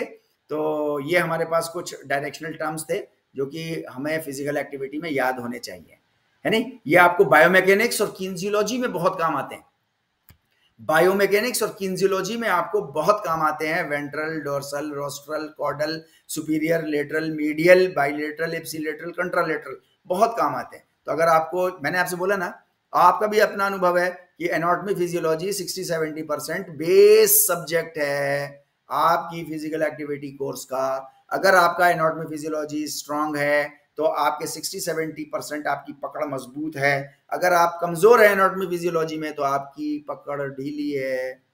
जितनी ढीली होती जाएगी, उतनी पर्सनैलिटी डाउन होती जाएगी। आपका कॉन्फिडेंस लेवल उतना डाउन होता जाएगा। और जितना आपका कॉन्फिडेंस लेवल डाउन होगा आपका आउटपुट उतना ही बेकार से बेकार और बेकार होगा। बेकार होगा मतलब आप ह्यूमैनिटी को कंट्रीब्यूट नहीं कर पा रहे होंगे। कंट्रीब्यूट नहीं कर पा रहे होंगे तो इसका मतलब कि आपकी ज़रूरत समाज को नहीं है। तो बी कॉन्स्ट्रक्टिव बी पॉजिटिव ऐसे ही पॉजिटिव जैसे मैंने आपको पहले भी बताया था, ये तारिक सरस्ती वाले का आप लोगो देखो कैसा है। ब्लैक में व्हाइट चमक रहा है। ब्लैक इन्वायरमेंट है, सब कुछ है, सारा माहौल आपका वातावरण खराब है, लेकिन उसमें क्या अच्छाई हो सकती है वो ढूंढो। दैट इज़ तारिक सरस्ती वाले, ठीक है? तो ये डायरेक्शनल टर्म्स थे हमारे। अब देखिए हम लोग जो है वो, आइए सेल्फ एनालिसिस का, बहुत इंटरेस्टिंग है ये। आइए हम लोग इसको डिस्कस करते हैं, ठीक है नहीं? अब जल्दी से हम लोग करेंगे। कोई किसी का, देखिए यहाँ पर मैं आपसे कह रहा हूँ सेल्फ एनालिसिस किसी का किसी से कोई कंपटीशन नहीं है, किसी को किसी से कोई बहस नहीं है। बहस सबसे ज़्यादा मुश्किल जंग, सबसे ज़्यादा मुश्किल जंग अपने आप से होती है इंसान की। दूसरे से तो सब आसानी से कर लेते हैं। इसी वजह से हम दूसरे की बुराई करते रहते हैं। जबकि आपको किसी दूसरे के बारे में नहीं जानना, आपको किसी दूसरे के बारे में समझने की कोशिश नहीं करना, सिर्फ़ दो चीज़ों में कोशिश करनी है आपको। दो चीज़ों में आपको दूसरे की ज़रूरत पड़ती है। कब? या तो आप उससे कोई रिश्ता बनाने जा रहे हो। तब आपको उसकी हकीकत की ज़रूरत है। तब आप उसके लिए कोई बातें करिए, या आप उससे फाइनेंशियल डील करने जा रहे हैं। कुछ पैसों की डीलिंग बिज़नेस पार्टनर या कुछ इस तरीके का आप डील करने जा रहे हैं, या उसको उधार दे रहे हैं, तब उसके बारे में आप समझने की उसको कोशिश करिए। वरना अगर ये दो चीज़ें आपकी नहीं है तो आप अपने बारे में सारा सवाल करिए। दूसरे के बारे में क्यों सवाल करते हैं कि वो ऐसा हुआ? हमें इसको कहते हैं ना गॉसिप गॉसिपिंग में बड़ा मज़ा आता है। तो गॉसिपिंग में बिलीव छोड़ दीजिए।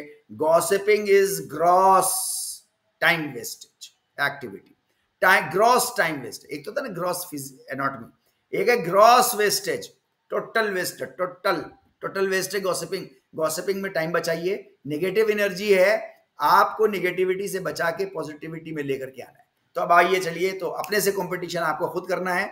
तो सबसे पहला सवाल आपकी स्क्रीन पर ये रहा sternum does not belong to axial skeleton true और फॉल्स स्टर्नम जो है, वो एक्सियल स्केलेटन का हिस्सा नहीं है। True false it's answer is false mixed आवाज़ें आई। फॉल्स की ज़्यादा आई ट्रू की कम आई। बी अटेंटिव देखिए, किसी भी टेस्ट में हमारी प्रिपरेशन कम नहीं होती। मैंने आपको पहले भी डिस्कस किया था कि अगर आप सात नंबरों से रह गए, पाँच नंबर से रह गए अप टू सेवन अगर आप रह गए तो आपकी प्रिपरेशन में कोई कमी नहीं थी। आपकी उस वक्त की अटेंशन प्रॉब्लम थी। पेपर देते पे आप अटेंटिव नहीं रह पाए उन पर्टिकुलर सवालों के। उनके सवालों के जवाब आपको आते थे, लेकिन आप नहीं कर पाए क्योंकि आपका अटेंशन स्पैन पुअर था। तो बी अटेंटिव स्टर्नम जो है, वो एक्सियल स्केलेटन का हिस्सा है। स्टर्नम एक्सियल स्केलेटन का हिस्सा है। अच्छा नेक्स्ट सवाल cranium is inferior to mandible आ अब इसके लिए पता होना चाहिए आपको मैंडेबल क्या होता है, इसके लिए पता होना चाहिए क्रेनियम क्या होता है। तो cranium is inferior to mandible और आपको ये भी पता होना चाहिए एनाटॉमिकल टर्म में डायरेक्शनल टर्म्स में जो है वो इंफीरियर किसको कहते हैं और सुपीरियर किसको कहते हैं। तो आपको पता चल गया होगा आंसर इसका। आप लोगों ने सबने बोला false mandible is inferior to cranium आपके जॉ ये इंफीरियर है क्रेनियम से। क्रेनियम सुपीरियर पे है और ये इंफीरियर पे है। ये नीचे है, ये ऊपर okay third question synarthrosis is similar to synovial true और false synarthrosis is similar to synovial आप बताओ मुझे मुझे नहीं पता कुछ। अरे यार, मुझे तो जितना रटा हुआ था, मैंने आपको सामने उगले दे रहा हूँ सारा। अब आप बताओ, आपने सीख लिया ना? अब आप बताओ साइनरथ्रोसिस क्या होता है? और साइनोवियल क्या होता है? ये दोनों एक है क्या? ये दोनों एक है क्या? फॉल्स दोनों अलग अलग हैं। सिनर्थोसिस कुछ अलग है सिनोवियल कुछ अलग है। Okay rostral refers to rostral rostral refers to yes nose कोई भी डायरेक्शन जो टूवर्ड्स नोज़ आ रहा है, ये rostral movement towards nose rostral okay what scapula is to humerus next सवाल what scapula is to humerus scapula जो humerus के लिए है एस्टिबुलम इज़ टू फीमर वही एस्टिबुलम है फीमर के लिए। अब इसके लिए हमें पता होना चाहिए एस्टिबुलम क्या होता है। इसके लिए हमें पता होना चाहिए फीमर क्या होता है। तो हमें इसमें से तीन चीज़ें तो पता है। एस्टिबुलम नहीं पता, हमारा हिप ज्वाइंट इज़ एस्टिबुलम, है ना? This is acetabulum. ठीक? तो अब बताइए आप what scapula is to humerus इस हड्डी के लिए जो स्कैपुला बोन है पूरी, वही एस्टिबुलम फीमर के लिए है। राइट और रॉन्ग राइट और रॉन्ग हाँ कंफ्यूजन हो रहा है थोड़ा सन्नाटा सा छाया हुआ है। ट्रू है नहीं आपके स्कैपुला में जो है वो ये ह्यूमरस का ये बॉल होता है। वो जो सॉकेट होता है वो स्कैपुला में होता है। स्कैपुला बोन है पीछे। हम्म, देखिए मैं दिखाऊँ आपको। Let me show this is scapula bone ये पीछे ऐसा लगी होती है। है ना? दिस इज़ स्कैपुला बोन ये स्कैपुला फिर ये ऐसे पार्ट निकल के, और ये ऐसे करके लगा, आप ऐसे सामने से देखो, है ना? ये ऐसे क्लाविकल जा रही है इसकी, आप पीछे की तरफ़ से, आगे से देखो तो पीछे दिख रहा है है ना? और ये फिर हमारा इधर इसका हेड यहाँ पे इसके ऐसे हेड लगा हुआ है, और वो हेड फिर हमारा जो है वो ह्यूमरस में।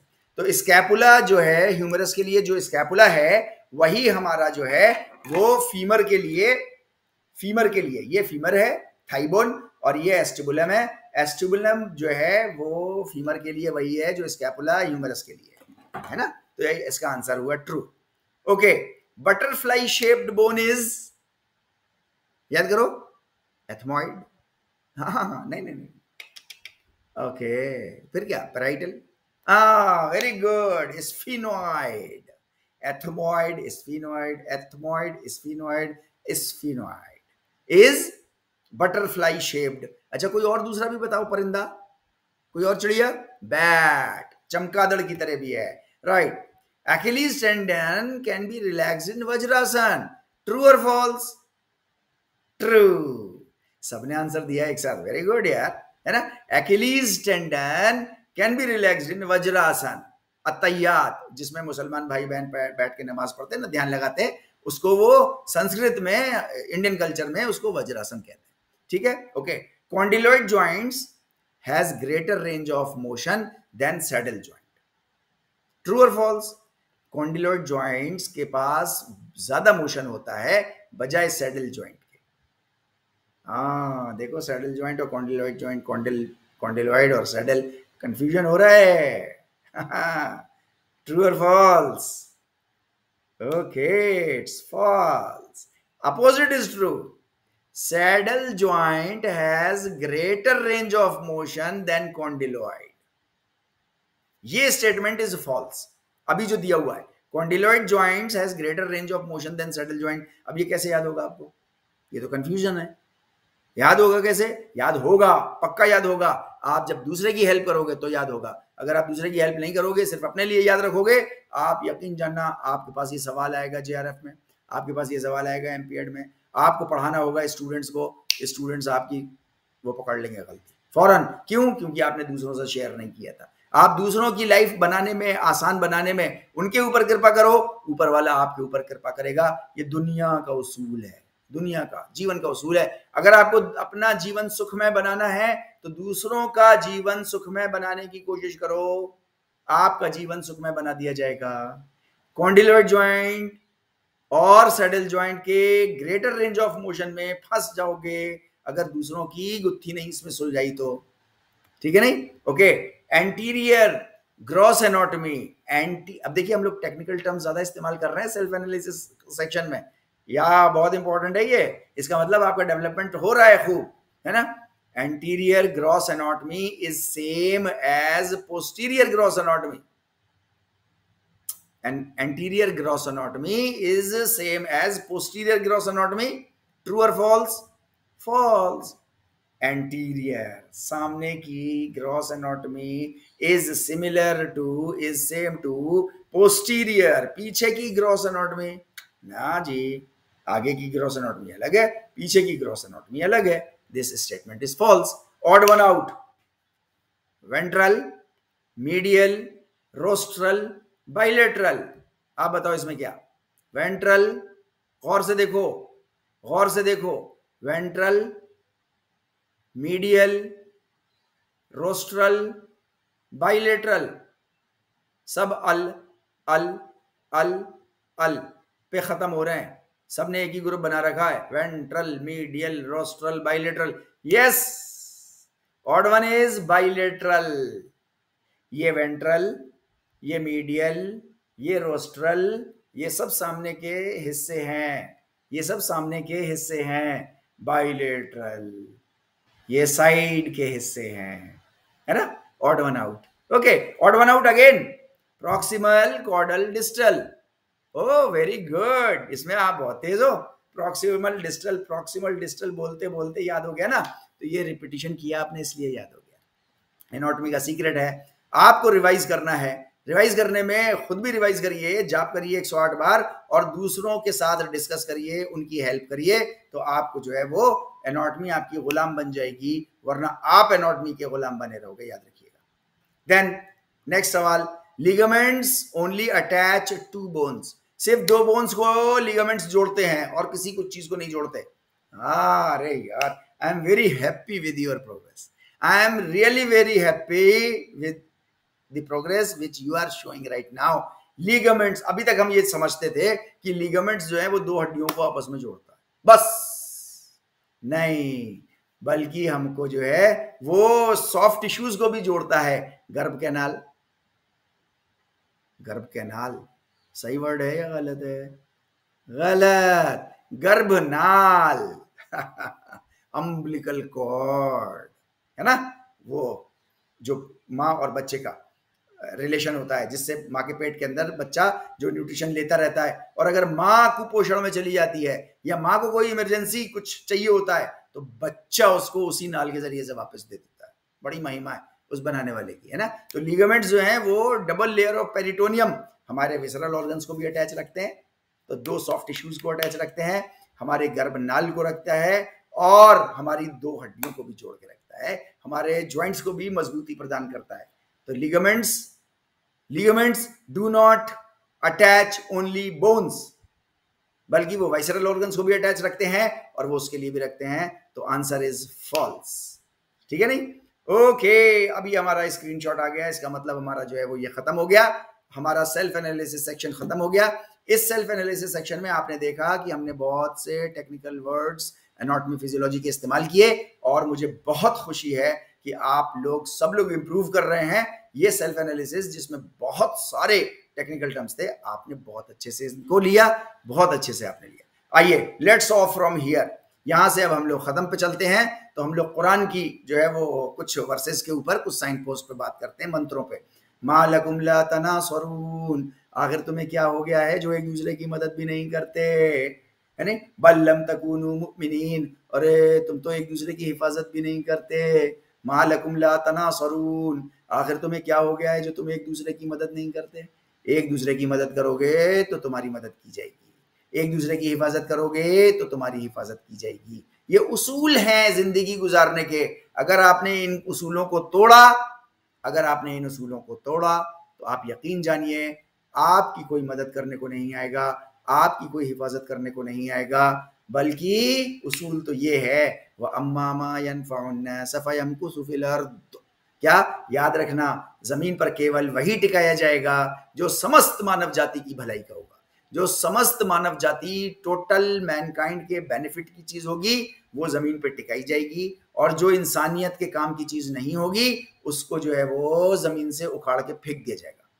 जैसे अर्थ जब बनी थी तो आग का गोला थी। लेकिन आग इंसानों के लिए अगर कंट्रोल्ड ना रहे तो नुकसान दे तो आग को खत्म कर दिया गया।